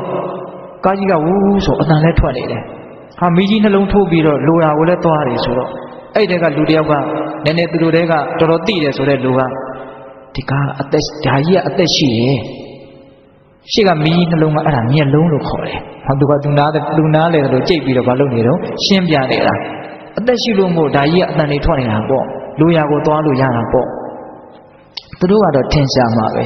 ဒီကားကြီးကိုအသက်ရှိတယ်လို့တခါမှမတွေ့ဘူးတဲ့လူကတော့နော်အခုခေတ်ပစ္စည်းတွေနဲ့ဥမာပေးရင်အလွန်ကောင်းတယ်နော်ဟုတ်လားတကယ်တမ်းကဒီကားကြီးကိုဒကာဓမ္မတို့ဦးဇင်းတို့ကြွញ្ကျန်းကျင်ကျင်တိနေမောင်းနေနေတိနေတဲ့လူကဒီကားကြီးကဘာအသက်မှမရှိဘူးဆိုတာကိုမသိနိုင်ဘူးလားသိနိုင်တယ် ခုဒကာဓမ္မတို့ဦးဇင်းတို့လည်းပဲဒီခန္ဓာ၅ပါးအစုကိုကားကိုအသက်ရှိတယ်လို့ထင်တဲ့လူတွေလိုပဲသိလားတကယ်တမ်းကတော့ဒီ၅ခုစုံမိထားလို့ဒီ၅ခုအစုအဝေးတိုက်ဆိုင်ထားလို့သွားလာပြောဆိုလှုပ်ကင်နေနိုင်တာခန္ဓာဆိုတာအစုဝေးမို့လားတော့ယူဘက်ခန္ဓာရှိတယ်ခံစားမှုအစုရှိတယ်မှတ်သားမှုအစုရှိတယ်သင်္ခါရခန္ဓာအစုရှိတယ်ဝိညာဉ်အစုမရှိဘူးလားရှိတယ်ဒီ၅ခုရဲ့အပေါင်းပေါ့နော်နာမိုင်းဆိုင်ရာကပိုးတော်များနေတယ်၄ခုရှိတယ် ဒါကိုအတူချုပ်ပြောရရင်တော့ယုံနဲ့နံနဲ့ဒါဒကာဓမ္မတို့ဦးဇင်းတို့ဆုံပြီးတော့စုံပြီးတော့ဒါဘာဖြစ်နေတော့ဖြစ်နေကြလားသူတို့ပေါင်းပြီးတော့အလုတ်လုတ်နေကြတယ်ပေါ့နော်ဦးဇင်းတို့ရုပ်သေးရုပ်လေးကပြတယ်ကြည်ပါများလို့ရှိရင်အမလေးငိုတာလည်းတကယ်ငိုသလိုကတာလည်းတကယ်ကသလိုဒီရုပ်သေးရုပ်ကအသက်ဝင်လာတချို့ဒီရုပ်သေးရုပ်ကတာကိုကြည်ပြီးတော့နောက်ကမင်းသားကငိုတာပဲငိုတာကတော့ဒါပေမဲ့ရှေ့ကကြည်ရင်းနဲ့စွဲသွားတော့ဘာဖြစ်တုံဆိုတော့ကြည့်တဲ့လူတောင်မျက်ရည်ကျတယ်ဒီဒီအယုတ်တွေကိုတနာပြီးတော့ လူတွေရဲ့အထင်မှားမှုဆိုတာတိတ်ကြောက်စရာကောင်းတယ်နော်ဟိုဦးဇင်းတို့ရွာမှာနေတော့မှဟိုတဖန်းစိတ်ဆယ်ကြီးဖောက်တော့မြောင်းမောင်တွေလာတူကြတာဦးဇင်းတို့အခုဘက်ဖိုးကြီးတွေနဲ့ကုတ်တာပေါ့လေကုတ်တော့ဦးဇင်းတို့ရွာဘက်ကလည်းတောဆိုတော့ဘယ်မြင်ဘူးပါမတော့အဲ့ဒီအကောင်ကြီးတွေကအသက်ရှိနေသလိုပဲကုတ်ပြီးတော့ဟုတ်လားတခါလေးမောလို့နားနေလို့မျိုးထောက်ပြီးတော့နားနေတာအဲ့ဒါရေးရလို့လို့ပြောတာဒကမာကြီးတော့ကဟဲနေမအညာမသူခမရအလုပ်လုပ်ရတော့တနာလို့တောင်ငိုတယ်တဲ့ဘယ်ဖိုးကြီးကိုပါတဲ့တော့ အသက်ရှိတယ်လို့ဒါစိတ်ကနည်းနည်းထင်းသွားတာပေါ့ဟုတ်လားဒါကြီးကအမြဲတမ်းလှုပ်နေကြီးတကြီးကြီးနဲ့လှုပ်နေတော့ဒါကြီးကိုအော်သူခမရနေပူလို့လည်းမနာရရှာဘူးတကယ်တမ်းကအဲ့ဒါလို့ဟုတ်တယ်လားမဟုတ်ဘူးအဲ့ဒါဘာပြောနေရတာဦးဇင်ကဒီခန္ဓာကိုလည်းတရားဓမ္မတို့ဦးဇင်တို့အကြောင်းတရားတွေအကုန်စုံလို့သွားနိုင်လာနိုင်ပြောနိုင်ဆိုနိုင်လှုပ်ရှားနိုင်တဲ့အတွက်ကြောင့်ဒါကိုအသက်ရှိတယ် အသက်ဆိုတာကအတ္တသဘောမျိုးကိုပြောတာနော်ရုပ်ဇီဝိတနာမ်ဇီဝိတဒီရုပ်တွေနာမ်တွေမပြည့်စည်အောင်ဆက်လက်ပြီးတော့ဖြစ်နေတဲ့ဇီဝိတကတော့ရှိတာပေါ့ဟုတ်လားသို့တော်တရားဓမ္မတို့ဦးဇင်းတော်ကအဲ့လိုထင်တာမဟုတ်ဘူးကိုလုံးချင်ဟာလို့လို့ရတယ်ကိုပြောချင်ဟာပြောလို့ရတယ်ငါလို့သူလို့အဲ့လိုအခိုင်အမာထင်ထားတာမရှိဘူးလားရှိတယ်ကားကိုအသက်ရှိတယ်လို့ထင်တဲ့လူတွေနဲ့အင်မတန်တူတယ်လို့ဦးဇင်းကထင်တယ်ဒါဦးဇင်းတို့လည်းအဲ့တိုင်းပဲအဲ့ဒီအထင်မှားတွေကိုပျောက်အောင် ဖြည့်ဆွက်ချက်တွေမပါဘဲနဲ့နှုတ်ပယ်ချက်တွေမပါဘဲနဲ့ခန္ဓာရဲ့ဖြစ်နေတဲ့သဘောကိုဖြစ်နေတဲ့အတိုင်းအမှန်အတိုင်းသိအောင်ကြိုးစားရမယ်အဲ့ဒါတတိပဋ္ဌာန်နည်းရဲ့အနှစ်ချုပ်ပဲအဲ့တော့ကာယပိုင်းဆိုင်ရာကိုဒါကာယမျှပဲပူတယ်ဆိုရင်လည်းပူတယ်လို့ပဲသိဘာမှအပူမထည့်နဲ့အရှိအတိုင်းလေးတဲ့တဲ့မြင်အောင်ကြည့်ရသိရပြစ္ဆုတ်ပန်တဲ့တဲ့ဟုတ်လားအေးအဲ့ဒါလိုပဲခံစားချက်တွေဆင်းရဲတယ်ဆိုရင်လည်းဆင်းရဲတယ်လို့ပဲသိချမ်းသာတယ်ဆိုရင်လည်းချမ်းသာတယ်လို့ပဲသိ အဲ့ဒါလိုဖြစ်ပေါ်တိုင်းသောသဘာဝတရားတွေကိုဒလဇက်လိုက်ပြီးတော့တတိဥစည်းပြီးတော့တိတိတိတိနေမယ်ဆိုလို့ရှိရင်ဖြစ်တိုင်းဖြစ်တိုင်းသောသဘာဝတရားတွေဟာချုပ်ပြောက်သွားကြတာကြီးပဲဆိုတဲ့အနိစ္စအချက်ကိုမသိကျင်လို့ကိုမရဘူးသူလည်းပဲငါတို့ဟိုရှုနေတဲ့လူကိုမမြင်အောင်ပုံနေလို့ကိုမရဘူးသိလားလူတယောက်ကိုမျက်ခြေမပြတ်လိုက်ကြည့်နေမယ်ဆိုရင်ဒါလူဆိုးလားလူကောင်းလားဟုတ်တာလုပ်တဲ့လူလားမဟုတ်တာလုပ်တဲ့လူလားဆိုတာသိကိုသိနိုင်တယ် မျက်ခြေမပြတ်အောင်တော့လိုက်ကြည့်ဖို့တော့လိုတယ်နော်ဟုတ်လားကိုယ့်ရဲ့အတ္တနောမတိကိုယ့်ရဲ့အာဂတိဟောကိုယ့်ရဲ့ထင်မြင်ချက်တွေတော့အဲ့ဒီတဲ့ကိုဝင်ပြီးတော့မစွတ်ဖက်နဲ့မထည့်နဲ့ပေါ့ဟုတ်ရဲ့လားအရှိအတိုင်းလေးသိအောင်ကြိုးစားရမှာဒါကြောင့်တရားဆိုတာအလွန်ရိုးတယ်သိလားလူတွေကအင်မတန်ဆန်းနေတာဆိုတော့ရိုးတာကိုစိတ်ဝင်စားပဲဖြစ်နေတာဟုတ်တယ်မဟုတ်လားအဲ့တော့မြတ်စွာဘုရားဟောထားတဲ့ဒီတရားတွေကအရှိကိုအရှိအတိုင်းပဲသိခိုင်းတာပဲ ကြည့်ခိုင်းတာပဲဒါကိုလေ့လာဒါကိုစူးစမ်းအဖမှန်တတ်တတ်ဒါကိုသိအောင်စူးစမ်းတတိဝရိယဉာဏ်ပညာတတိဥသိပြီးတော့ဝရိယဥသိပြီးတော့အမြဲတမ်းသိအောင်စူးစမ်းတော့ဟောဉာဏ်ပညာကတဖြည်းဖြည်းနဲ့သိတရားရှိတာကိုသိလာဟုတ်လားအဲ့တော့ဦးဇင်းတို့အတူချုပ်ပြီးတော့မပြောချင်တယ်ရှိပါများရင်သိစရာရှိတာကိုသိလာပါ ဟုတ်လားဒါကြောင့်တတိဥစည်းပြီးတော့ဒကာဓမ္မတို့ဦးဇင်းတို့ခန္ဓာရဲ့အကြောင်းကိုသိအောင်ကြိုးစားကြဖို့မလိုဘူးလားဟေးအဲ့ဒါလို့သိလာလို့ရှိရင်အတိတွေကတဖြည်းဖြည်းနဲ့ကြီးလာပြီးတော့ဩဖြစ်တိုင်းဖြစ်တိုင်းတော့တဘာဝတရားတွေကောင်းတယ်ပဲပြောပြောဆိုတယ်ပဲပြောပြောချမ်းသာတယ်ပဲပြောပြောခံစားတယ်ပဲပြောပြောရုပ်ပဲပြောပြောနာမ်ပဲပြောပြောဘာပဲပြောပြောဖြစ်လာတာတွေဟာပျက်စီးသွားကြတာချင်းတော့အတူတူပဲအလုံးဟာပျက်စီးသွားကြအဲ့တော့ဦးဇင်းတို့တမာဒိဋ္ဌိဆိုတာ ကိုယ်ခန္ဓာကိုယ်ပေါ်မှာဖြစ်နေတဲ့ယုဒ္ဓနန္ဒသဘာဝတရားတွေရဲ့မမြဲတဲ့သဘောချုပ်ပြောက်သွားတဲ့သဘောကိုအမှန်တိုင်းသိတာကိုတမာဒိဋ္ဌိလို့ခေါ်တာလို့ဒါကိုဦးဇင်းတို့ကြိုးစားပြီးတော့ရှင်းနေတာဟုတ်လားအေးအဲ့ဒီအချက်ကိုမသိနိုင်ဘူးဆိုရင်တော့ဒီယုံနံတွေပေါင်းစုပြီးတော့အလုတ်လုတ်နေတာကိုပဲခိုင်မြဲတဲ့အနေအတ္တရှိတယ်ဆိုတဲ့အနေငါဆိုတဲ့အနေသူဆိုတဲ့အနေအမျိုးမျိုးအထင်မှားပြီးတော့ကိလေသာတရားတွေများလာစရာအကြောင်းမရှိဘူးလားရှိတယ် အဲကိလေသာတွေများလာပြီဆိုရင်တော့ကံတွေများမယ်ကံတွေများလာရင်တော့အကျိုးဝိဘက်ခန္ဓာတွေများလာပြီးတော့ဒုက္ခကဘယ်တော့မှဆုံးမှာမဟုတ်ဟုတ်ရလားအဲ့တော့ဦးဇင်းတို့တမာဒိဋ္ဌိအကြောင်းကိုစ조사ပြီးတော့ရှင်းပြနေတာနောက်ထပ်2မိနစ်3မိနစ်လောက်နေပြီးတော့မှနော်တရားကအဲ့တော့ဦးဇင်းတို့တမာဒိဋ္ဌိဆိုတဲ့အရုံရောင်လာရင်တစ္ဆာလေးပါးကိုသိတယ်ဆိုတဲ့နေမင်းထွက်လိမ့်မယ်ဆိုတာနဲ့ပတ်သက်ပြီးတော့စကားကဒီရောက်သွားတာဟုတ်ရလားဒါကြောင့်ဘဝမှာ သာသနာနဲ့ဒီခန္ဓာကျုံနေတဲ့ဆုံးနေတဲ့အခိုက်အတန့်မှာအရေးအကြီးဆုံးကတစ္ဆာလေးပါးကိုသိဖို့ပါအဲ့ဒီအရေးကြီးဆုံးဖြစ်တဲ့တစ္ဆာလေးပါးကိုပฏิဝေဒဉာဏ်ဖြင့်ထွတ်ထွန်းသိကျင်တယ်ဆိုလို့ရှိရင်ဒကာဓမ္မတို့ဥရှင်တို့နေထွက်ဖို့ဆိုရင်အာယုံအရင်တက်ဖို့လိုတယ်အရုံရောင်အရင်လာဖို့လိုတယ်ဆိုတဲ့အဓိပ္ပာယ်ပေါ့နော်ဒါကြောင့်တမာဒိဋ္ဌိဖြစ်အောင်ကြိုးစားကြဖို့မလိုဘူးလားအေး အဲ့ဒီတမာဒိဋ္ဌိရင့်ကျက်လာတာနဲ့အမျှသစ္စာလေးပါးကိုသိဖို့အတွက်နိကတ်လာတယ်လို့ပြောလို့မရဘူးလားရတယ်အဲ့ဒီတမာဒိဋ္ဌိခိုင်ခိုင်မာမာဖြစ်အောင်ဘယ်နည်းနဲ့ကြိုးစားရမလဲလို့မေးရင်လည်းပဲတတိပဋ္ဌာန်နည်းနဲ့ကြိုးစားကြရမှာပါလို့လည်းပဲ